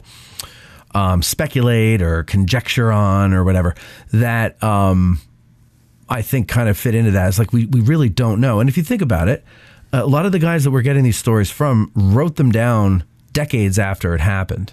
Yeah. You know, Yeah. and and not only that, let's say the ones who wrote it down a day after it happened, their view of what was going on was very limited. That's right. Yeah. So it, to to re- and, and and if you if you think about life today, um, whether it be a, a major national event like like 9/11 for example, or just just something that happens in your life, which you know history doesn't record, but you do. Um, it's confusing. You get six people that experience the same event that you're talking about uh, in one room and you talk about it and there's no no no that's not how it happened you know he walked over here and said this or did that or whatever oh yeah yeah yeah you're right so um to me it's like it's enough to like read the stories and go well in essence this is true. Yeah. is this a hard absolute fact? No. Maybe. I don't know. Could be. But at least the essence of the story is true and it's a good story and it's inspiring for for many people. What do you think? When you first read the comment, one thing that came to my mind is, uh, and many people say this is certainly not my quote, is you read one book and you're an expert. You read two, you're confused. and, and, and that's that's the fact of this. Yeah. is you read all these different accounts, and you know one of the things that caught me up early on is, uh, you know, you read a narrative by an author o- on the subject. You think, wow, okay, I, I'm getting starting to understand it. Oh, look, here's a first-hand account. This should be even better Right. because this is a first-hand account. And then you read it and you think, it's nothing really? yeah I'm going to throw the challenge flag on that. Right? I like that commercial. I'm going to challenge it. Yeah. Did you really say that?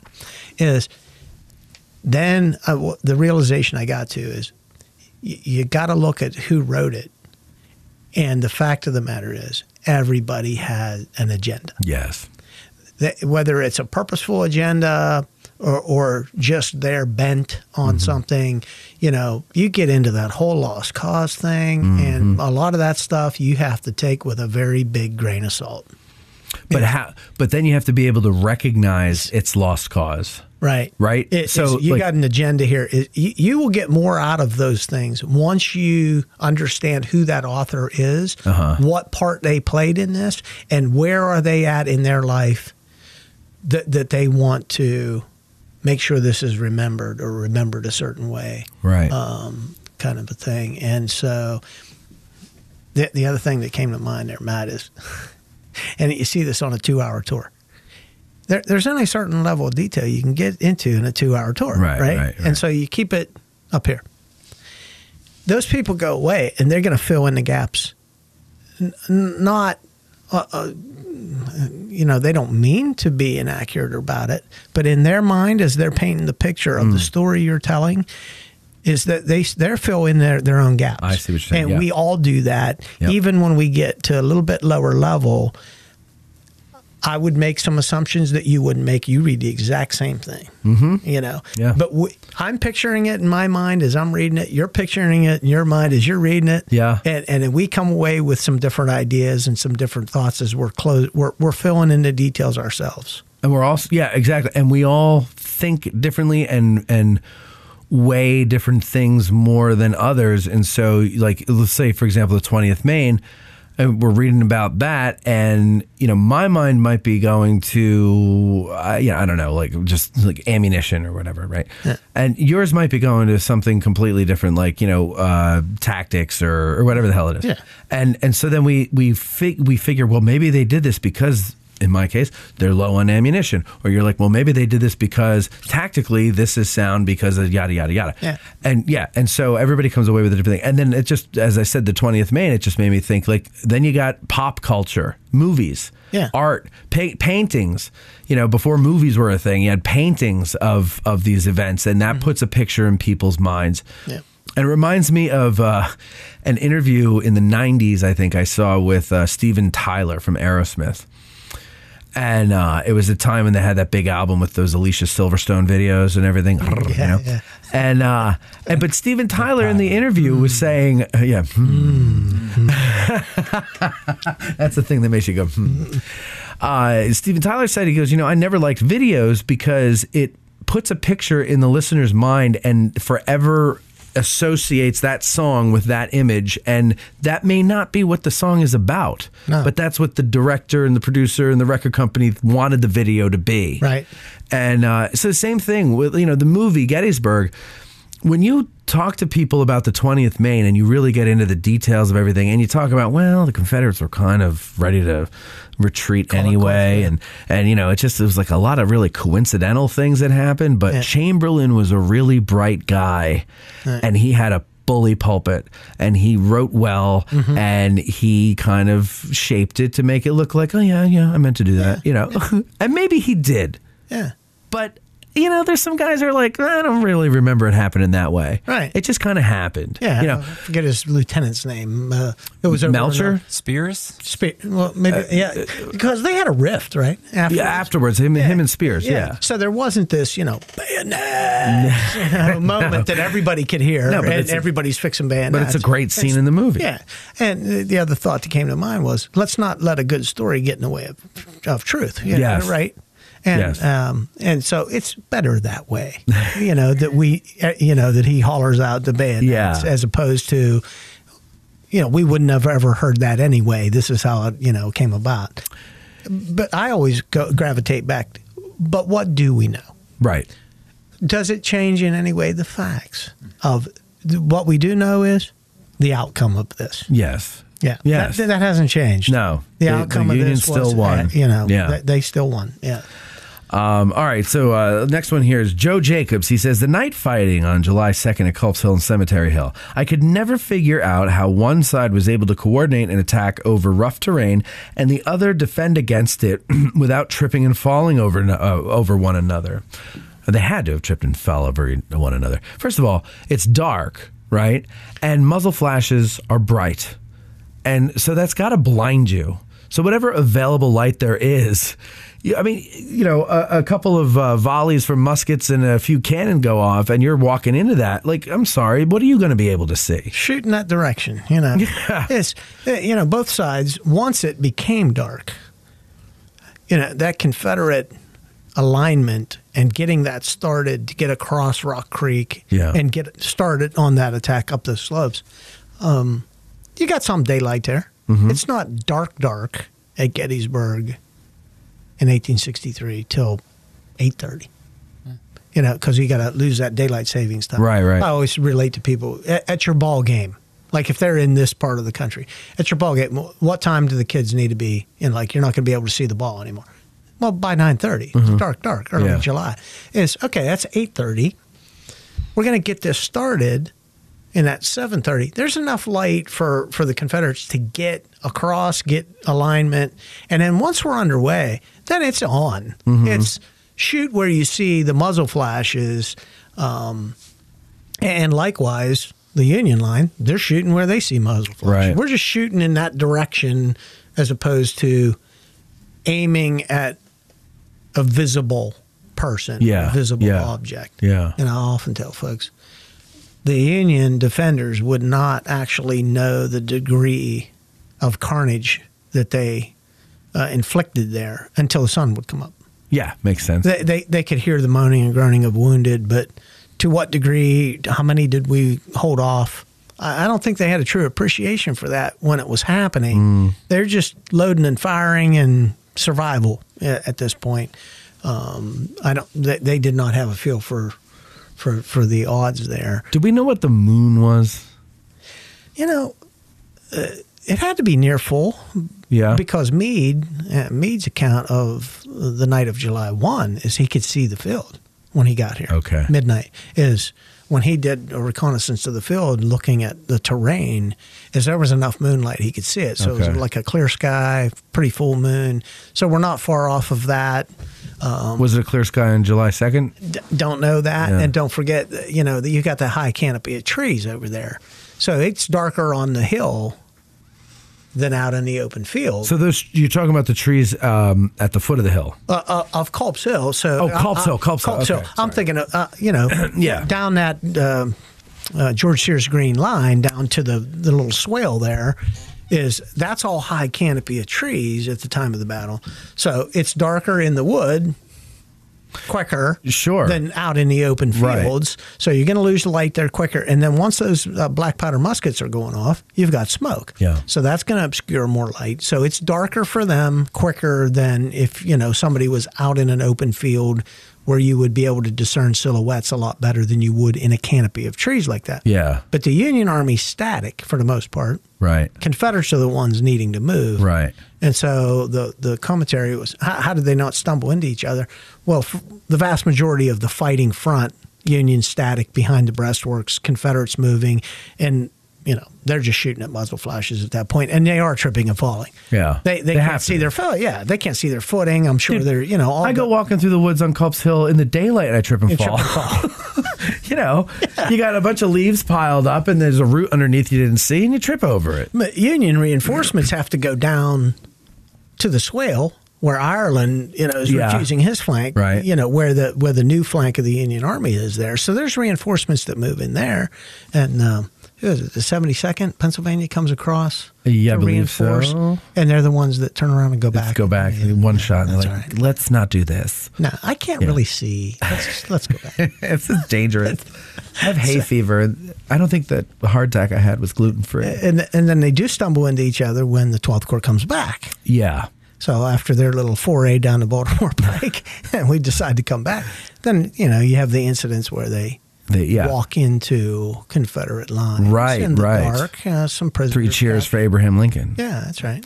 Bang. And then, and so it's funny because when so he mentions Culps and Cemetery Hill for some reason, um, when we started talking about this, I, I was picturing Cemetery, Hill. I wasn't even thinking of Culps Hill, and then you're talking about the canopy of trees, and that's when I realized, oh, you're talking about Culps Hill. I'm so we're talking about Culp's two Hill. different You're thinking about Cemetery Hill. but it, and that's why I was asking what the moon was because if it's Cemetery Hill, You could see. you could You'd see. Yeah. Yeah. Theoretically, I mean, Yeah. there was unless there was cloud cover. I don't know. I'd have to check uh, Professor Jacobs' notes, Yeah, but yeah.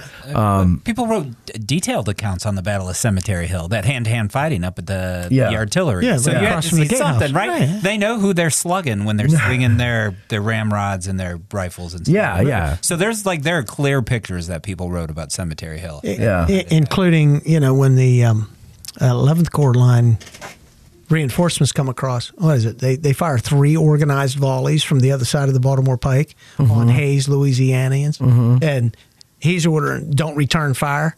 Though he's thinking He that's think it's Rodes, Rodes. guys That's right. who were supposed to come Yes. up over there, and there's a confusion in the darkness. They shouldn't be firing on us. Don't fire back. Right. Till about the third round, and then it's like, yeah, F. Who cares? yeah, you got to defend yourself, man.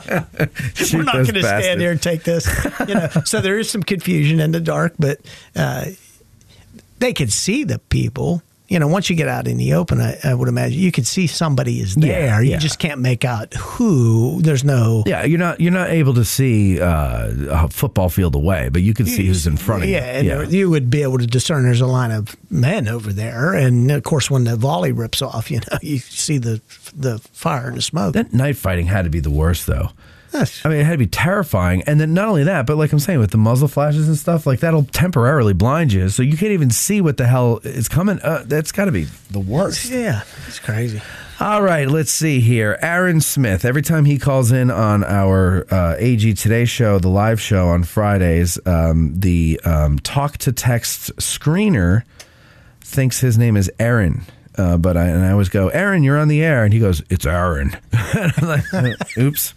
Anyway, Aaron says, I think a huge hmm moment would be hmm, just how close Ewell came to capturing Harrisburg. It was a huge industrial city, the PA state capital, and vital stop in several rail networks. Makes me go, hmm, hmm. Thinking about what reaction would have been, uh, what the reaction would have been if the South took Harrisburg. What do you think the reaction would have been if the South took Harrisburg? If if all things were the same, but Ewell was a little earlier and he took uh, Harrisburg, that might have. What would that? What do you think that would have done for Lee? Like Lee, oh wow, we have Harrisburg. Forget about everybody coming here to Cashtown and Gettysburg. Let's go up there. What What do you think that would have done? Well, as I look at it, the, the Lee's intended outcome of capturing Harrisburg was newsworthy. Mm-hmm. That's what he's trying to do. is you're sending a message. So when they disperse, when Lee disperses his army in Pennsylvania, two main reasons: supply opportunity. The the greater the area that you cover, the great oppor- greater opportunity for cattle, horses, hogs, chickens, grains, tons of fodder for the horses. Right. And the second reason is you're sending a message to capture that capital uh, of one of the largest Union states sends a message to the people of the North. The war's not going well, and in fact, it's getting worse. Right. We have made it all the way to and occupy one of your capitals. Yeah. Is I think less about the logistical aspects that that uh, Aaron right mentioned Aaron. Yep. is mm, maybe you tear up some railroad, maybe you do a little bit of damage like that, maybe you get uh, some significant supply f- from that. That's all temporary. You're, you're not going to occupy that town for very long. Um, and you know what? They'll have that railroad rebuilt in two or three days. You know, and things will be back back in production. It's just to scare everyone, basically. Yeah, Yeah. Uh, I hate to use the word because it, it carries connotations today, but terror yeah. is you're spreading terror. It's the message Yes. that he's sending by doing that. That was uh, that's how I always relate the intent of that lead thrust to Harrisburg is newsworthy. Right. Make the papers, And it makes we sense. made it all the way to Harrisburg and took it. And that is more terrifying than Gettysburg being occupied because nobody's ever heard of Gettysburg. No. But Harrisburg, whether you've heard it, whether you know the capital of Pennsylvania, if you read an article that says state capital of Pennsylvania, Harrisburg, Harrisburg, the state capital of Pennsylvania was sacked yesterday, um, that's scary. Right. Because it's like, well, Jesus, if they can get that, They can go there. th- what, what can't they do? Philadelphia next. Phil- New York, Yeah. Trenton, That's everybody in New Jersey is like, go ahead, have it. Phil- Philadelphia is always brought up because if he had been completely unfettered, Union Army moved very, very slowly. what psychological message, what impact for a Confederate army in Philly? Yeah. The, the, the, the place of the Constitution, Yeah. the Liberty Bell, The founding the of the founding country. of the Yeah. country. Does that carry more weight than a DC? Uh, yeah, uh, I would think so. Yeah. At that time. You know, Yeah. And, and the now whole, it wouldn't. The, the whole philosophy is is there enough anti-war sentiment building Right. That these messages, these outcomes of ta taking such a predominant place, impacting it, it's not going to be an occupying force. I mean, he, he would never have allowed himself to become under a siege situation Right. in a capital. Um, it's just newsworthy. Is what it is. There's there's no tactical advantage to it though. What he I mean, what he's going to do is he's going to cut himself off to his his limited supply line, and then his escape back to Virginia just in case. I mean, if he puts himself in Harrisburg, I mean, there's there's a little bit of strategic advantage there, but from a tactical standpoint, I think it puts him in danger. It, it, it does, and, and you think about it. Where's the body of his army when he sends the inv- the the uh, invading force to Harrisburg? It's clear down here at the Pennsylvania border. yeah, it doesn't go any further than Chambersburg. No. Why? Because he's just a few short miles from the border. He the body of his force is not going to overextend itself Right. all the way up there for a Union army to cut him off from the south So they- and if- be in his way. If Ewell had taken it, if Ewell had taken Harrisburg, Lee's not going to take the other two thirds of the army go up there because now they're really stretched. That's correct. I would not see anything playing out like that. Right. There's no way he was going to send Hill and Longstreet up to Harrisburg. Now Because- he's right, waiting to develop Yeah. the situation. Right. Okay, all right, good. Uh, Brian Jackson, my hmm moment involves the first day's battle. Reported, reportedly, Ewell informed Lee that he could attack Cemetery Hill if he had support from the right. If uh, uh, Lee held back Anderson's division from, uh, there's no if there. I'm sorry, I just threw that in for some reason. Lee held back Anderson's division from Hill's corps, stating that he was the Army's only reserve. However, Johnson's division from Ewell's corps was on the way, as well as Longstreet's corps. If Anderson's division attacked the western slopes of Cemetery Hill along with Ewell's corps present from the north, there may not have been a second day of battle uh, at Gettysburg. So uh, let me just make sure. So, in other words, he's saying Anderson is fresh, right? Anderson's troops have not been engaged so far on July 1st. They're fresh. They're up there. Lee's Lee's argument is, well, they're my reserves. So if I use them up trying to take that hill, uh, and the, the Union maybe counterattacks or something, I can't. I have nothing. Right. Right. Right. So I've got to hold my reserve until more fresh troops come up. Right. Is essentially what Lee's thinking is, right? right. Okay. So now let's see. Brian's saying so. Lee held back Anderson's division, right? Okay. However, Johnson's division. Okay. Well, so Johnson's division is is delayed. Why? Because of the road. Because Tra- of the road. Traffic. There's a traffic jam. Right. Yeah. So um, Johnson's not readily available at at this point. Maybe where he's talking about. J- Johnson, I did a, and this was on a request. Uh, a gentleman a few years ago said, "I'd like you to give me." It was two or three hours. Might have been two, and I turned it into three. I don't know tend- any guide we- who takes a two-hour tour and leaves it at two hours. Yeah. It's- it's- And you don't get paid for that third, No, do you? no, No, you throw no, that in. Yeah. yeah, you get this for free. Stick around. yes, um, is um, tell me why Ewell didn't take that hill, and so I, and, and I always like to approach everything with um, um, the man in the arena uh, viewpoint. Is uh, I'm not here to criticize. Uh, I, if I don't understand something and it, it just makes me go, hmm, you know, look deeper.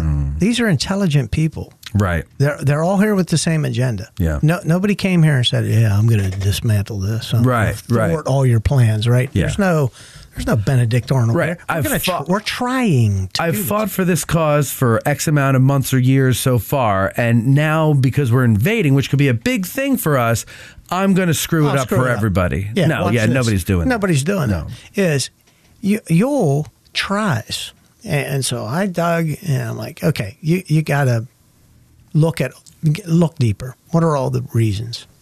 And Johnson um, isn't pulling in the the accounts. There is he's marching into Chambersburg Pike. They divert onto the railroad cut, mm-hmm. right out where the traffic light is today. Mm-hmm. Use the traffic light. So they got the green light. They go in the railroad tracks, the the unfinished railroad, to the train station. Right. Perfect, clear path. Yep. They go in that way. Hmm. It's about dark because there's some um, firsthand accounts. Oh, uh, I'm trying to think. One, one of the Confederacy spies, uh, uh, Union soldier laying on the ground with some shoes or something he wants, goes over there to take it, and the guy says, "Hey, "I'm not dead yet." it's like, oh, know. But it's dusk and dark enough that you know he didn't pick up on that. But there's these firsthand accounts. He's getting in there around dark. It's got to be between eight and eight thirty, right? Right. by the time they get in there, check in, and now we're going to determine what we're going to do with you. Ewell's been reconnoitering that ground, trying to figure out. He he rides up past what is it, High Street on, mm-hmm. on Baltimore Street. Take a look at for himself. This might be where the famous, you know, name the general who's hit in the leg but suffers no wound. You know, he gets hit Yeah, in the, the- in the wooden leg, in the yeah. wooden leg, shot in the leg, no wound. Um, but he's trying to figure out what's the best way to get at it. Right. And eventually he's, you know, looking around that Culp's Hill side of it, you know, come in from that direction. All the troops pretty much that he had engaged have been engaged.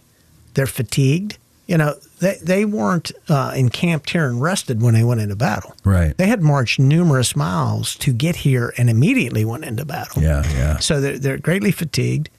They're disorganized from fighting through the streets and alleys. So the unit cohesions are shot. Um, they're encumbered by a lot of prisoners. Mm-hmm. And you're still trying to house the house, clean this mess up. Um, you're, you're losing daylight. You're looking for fresh troops. He, eh, the, the account is he asked Lee for help from Hill. Yeah. And that's where this whole discussion of Anderson came up is, I don't really want to give you Anderson. Right. You know, don't you have Johnson? Where's Johnson at? Is fresh troops. Uh, and then you have the scouting that goes up Culp's Hill and they run into the 7th Indiana guys. Yes. And that kind of throws, Makes that's that about, the puts the nails in the occupied. coffin. That's Yeah. got to be around midnight. That he's trying that deep into the night Mm-hmm. to try and figure out a way to move Johnson around, get some troops lined up, and occupy that wooded hill in the rear to make Cemetery Hill untenable. Anyway. Right, right. So that at first light, there's not going to be a battle at, at Gettysburg. We're going to be talking about the Battle of Thurmont or Emmitsburg or Frederick or Yes. wherever the decisive battle now occurs. Yeah, Pete, uh, I think a lot of uh, a lot of maybe newbies or visitors, first time visitors or something uh, to the battlefield, uh, think that Culp's Hill is the main hill, um, but really it's Cemetery Hill. Like Cemetery. That's you take that. Culp's Hill's useless. Cemetery Hill's bald, uh, the vegetation, it's um, massive. Um, it doesn't come to as sharp of a point. No, it's like a plateau. It's a more of a bigger plateau Yeah, from yeah. a defensive position. The military crest is a nice big round, you know, it's got that dominating look. And I always point out to folks, it's the front. yeah, What defined it as the front? The fighting of July 1st. yeah. Where did we come from? We came from out here north of town and west of town, and this was the fallback position. This is the main battle front, is Cemetery Hill. Culp's Hill is a flank position to that, and Cemetery Ridge is a flank position to that. Right. People often say, you know, this rift between uh, Major General Meade and Sickles. A lot of people will say, well, we put Sickles in the back. Mm-hmm. Was his intent Yeah, yeah. to get you go back there somewhere where you're not going to, you know, mess hell out of my up. way. Get away from me Yeah. not you know thinking that there would be a big fight coming from that direction Sure. you know kind of a thing but that's the main thing is cemetery hill and we oversimplify it Yes. But Big we, time. we, we oversimplify this that you know take that hill if practicable oh Right. it's lee's fault for not being more forceful what if stonewall jackson had been here think Sue says, eh, he'd have smelled pretty bad because he'd been dead for you know a month, two months. Um, he smelled pretty bad. But um, we, we like to think, well, if Lee would have said, "You must take that hill," the outcome would have been different. Not from what I I, can so. see. Ewell Ewell is trying all his efforts to figure out on ground that he does not have a good understanding of how to get troops arrayed in a, such a fashion to make this happen. Right. Don't forget about all the Union gun batteries that are staring down the throat of that street, looking down on that town. You're Yeah. not coming that direction. Right, right. Okay, that's you know And like you pointed out before, form, forming with all those buildings and whatever the hell else there is to get in your way, it's just it's not a good move. It's not a no good matter how you slice way it. to come from the town direction. The batteries are all in place.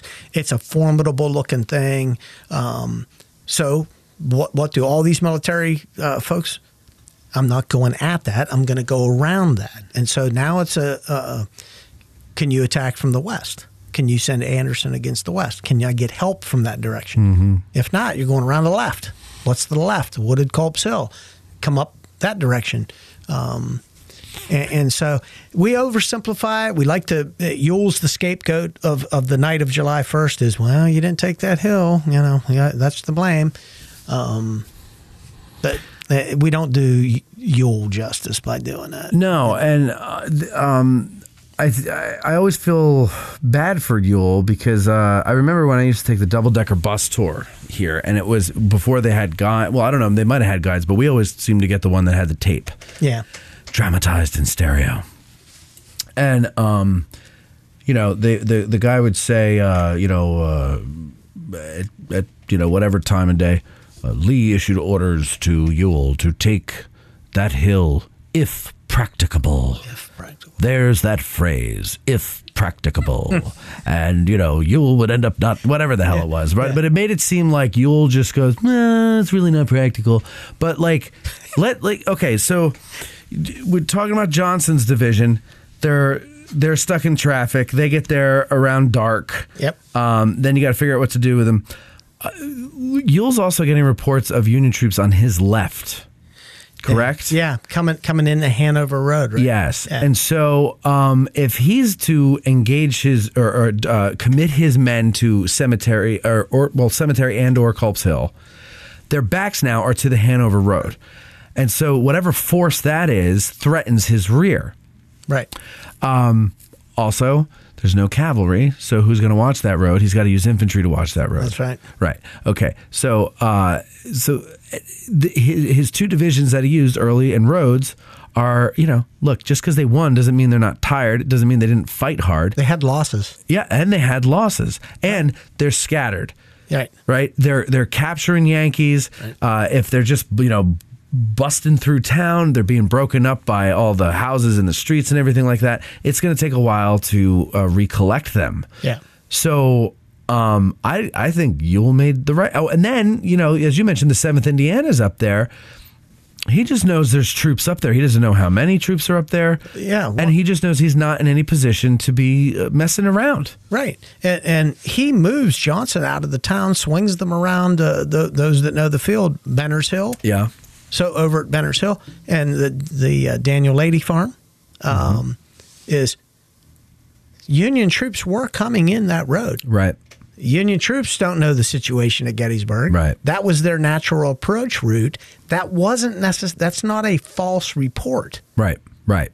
But they don't know any better than you do where they're at. Exactly. Okay. Because I've often thought, holy cow, if the Union Army could have actually fortified in some way over there, you take that whole side of this battlefield story away. Yeah. Yeah. Because as you say, you can't turn your backs to No. you know the the uh, twelfth corps. Or it wasn't the twelfth corps; it was the um, No, it was it was Williams division. yeah Williams division Yeah. of the twelfth corps coming in that direction. Yeah. So those weren't false reports, and as you said, that's one of the reasons that I had on there was that distraction. Mm-hmm. It, it does it end up being anything more than that? Not really. But that distraction, that fear of these multiple reports is that we may have an enemy coming down on our flank or behind us here. Right. And we need to be cautious of what we're doing. But Johnson gets moved out there in the dark to be prepared. Sure. for an assault on Cul- on Culp's Hill. Right. He's making the the He- arrangements. He's getting it. Yeah, he's Yeah. getting him in position that hey, let's make preparations. You're going to assault that that hill, you know, down through there. And when the um, the advanced reconnaissance comes back, and half of them were captured, and Mm. were were under fire in the dark, as you said. What's that mean? Right. That means there's probably numerous regiments up there, a couple, two, three brigades, whatever it is. It wasn't just a regiment in their mind's eye. Exactly. Is that place is held? yes. Yeah. Uh, all right. Uh, our buddy Bill Etzkorn says, I have always been fascinated by the amount of officers that were arrested during the campaign. I've never heard of an account of anything malicious, but somehow walking in a creek is something to be arrested for.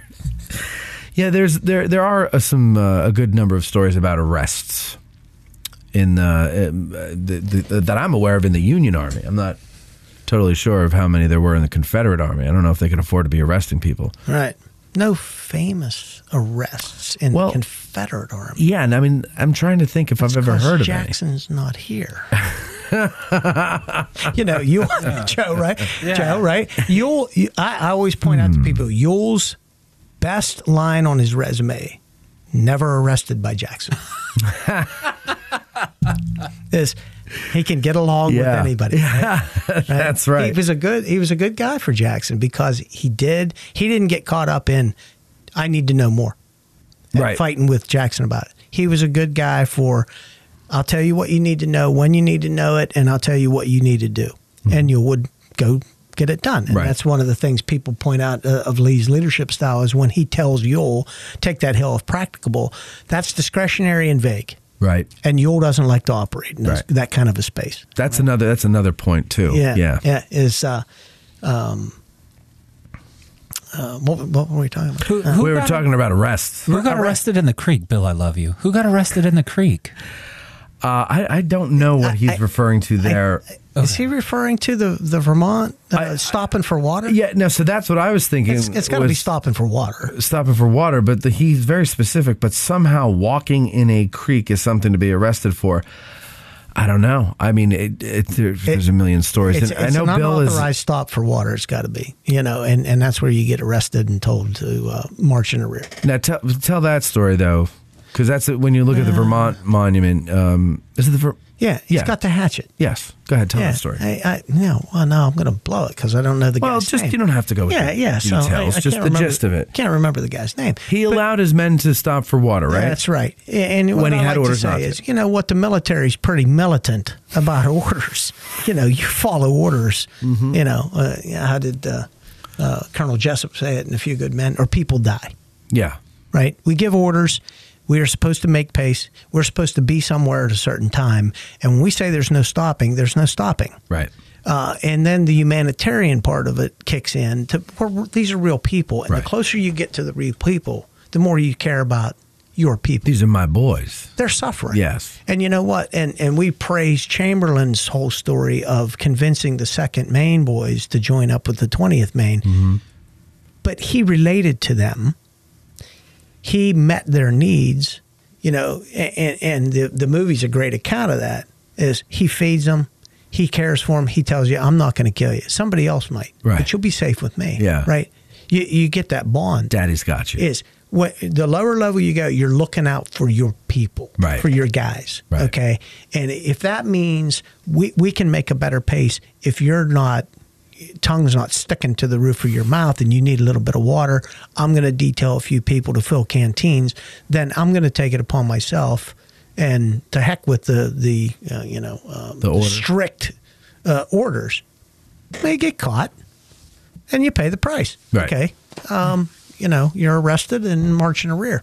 And um, it's always funny, and you know Jackson would do this too. Even when Lee had to talk him out of it, is when it comes down to a fight, you're back in the ranks. yeah, yeah, yeah, exactly. You might go in with a hatchet instead of your sword. but what's so, what's the hatchet? So, so this officer of the Vermont regiment that allowed his men to stop to get water, was arrested, and, and as an officer, if you're arrested, you lose your your Your sword. your authority, mm-hmm. and part of that is give me your sword. Your symbol of authority. That's correct. So now you don't have that. There's got to be some embarrassment to this. Sure. Okay, and that's why you march in the rear. Is you're you're coming along, but there's an embarrassment to it uh, and that whole thing. And so even when he's restored to his authority, his way of thumbing his nose at it is, oh yeah, well I'll just go instead of a sword, I'll go with a camp hatchet.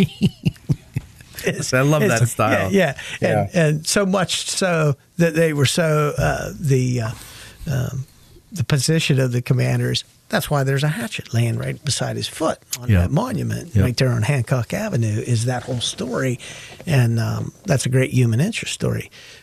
But that's got to be, you know, walking in the creek is there's a human side of it yeah. and people wanting to get somebody what they need, which is a, drink of water. But that's also a good lesson for people who you know hear these stories um, about you know the battle and and they go, well, why didn't they just whip around that way, and why didn't they just do this simple thing? Mm. In my mind, but you know armies are made of men and back then men you know we didn't have these big trucks transporting people around you walked unless you were in the cavalry but even then, you had to get off and walk once in a while. You had to worry about your horse. You had to worry about the horse. And so instead of gasoline, you had you needed water and food for all these things, uh, people and horses. According to the Google machine. Yeah, you don't need is, that. It is Lieutenant Stephen F. Brown, Company K of the 13th Vermont. Stephen F. Brown, that's him. Yeah. Okay. And, and so I have a poem. Like the only poem my dad ever made me learn was Gunga Din by Rudyard Kipling. If you're familiar with that, and it starts out, you, I'm, I'm going to do it. I'm going. Go ahead, go for uh, it. You can talk of gin and beer when you're quartered safe out here and sent to penny fights and Aldershot it. But when it comes to slaughter, you'll do your work on water and you'll lick the bloomin' boots of him that's got it. Ah, there you go. Yeah. Got to have that water. Nothing worse than being thirsty. I'll take being hungry over thirsty any day. Yep. Um, no yeah. Uh, yeah. So I forgot what I was saying, but that was a good. I like that. So you actually had to memorize Gunga Din. I, I can do the whole thing. Really? Yeah, yeah, yeah. Gunga Din. Well, I uh, we don't have time for that today, but maybe another day we can have you uh, recite Gunga Din for us. In the meantime, uh, that's it. We've come to the last question and the end of the show. Uh, Jasan, thank you very much for coming on. Thank it was you. a lot of fun having you. you. Anytime you want to come back we can talk about whatever the hell you want to talk about. Yeah, let's do that. All right, good. All right. And uh, Joey, great job over there. Thank you. Wonderful uh, filling in for Eric there. And uh, in case, I don't know what order this is coming out in, but uh, in case uh, those of you uh, listening out there don't listen to our live show every Friday on YouTube, AG Today, Eric. the producer has left the show. He he has moved far away. It's not any kind of bad blood or anything. We're still uh, great uh, friends, but uh, he just, you know, he has to move on with his life. He wants bigger and better things, and we wish him all the best. And we thank him for his service to Addressing Gettysburg and to you. And uh, yeah, that's uh, that's it. We will continue. We will survive. Hmm. At first, I was afraid. Yeah, I was petrified. Kept thinking I can't continue to do this show without him by my side. But then, uh, you know, I got a good group of people around me, and a lot Yeah, of people have offered right. to help, and, and Joe is one of them. And Joe did a fine job tonight, so we thank you very much for that, Joe. Good right. job. Go, Very Joe. good. Oh, thank you. Very good. And uh, that is it for us, ladies and gentlemen. So, uh, like I always tell you, if uh, you liked what you heard today and you'd like to take a tour with Jasan, shoot me an email, matt at addressinggettysburg.com, and I'll put you guys in touch. Uh, otherwise, that's it. I hope you're doing well. Take care of yourselves, and we'll talk to you next time. Bye bye now. All right. That's it. Need a corps badge or other insignia for your uniform? Then check out the Badge Maker. Here's what some of his satisfied customers had to say. Miranda said, I ordered an identification disc from Joe and it's fantastic. He hand stamped it exactly as I wanted. Greg said, My unit has purchased from him in the past quality badges and good service. And Jerry S. says, The Badge Maker is the go to place for accurate replica Civil War badges. So go to CivilWarCorpsBadges.com and attach a message with your order saying you heard about him on Addressing Gettysburg. Our hearts so stout have got us fame, forsooth 'tis known from whence we came. Wherever we go, they dread the name of Garryowen in glory. Instead of we'll drink down ale and pay the reckoning on the nail. No man for shall go to jail from Gary Owen in glory. Instead spa, we'll drink down shall go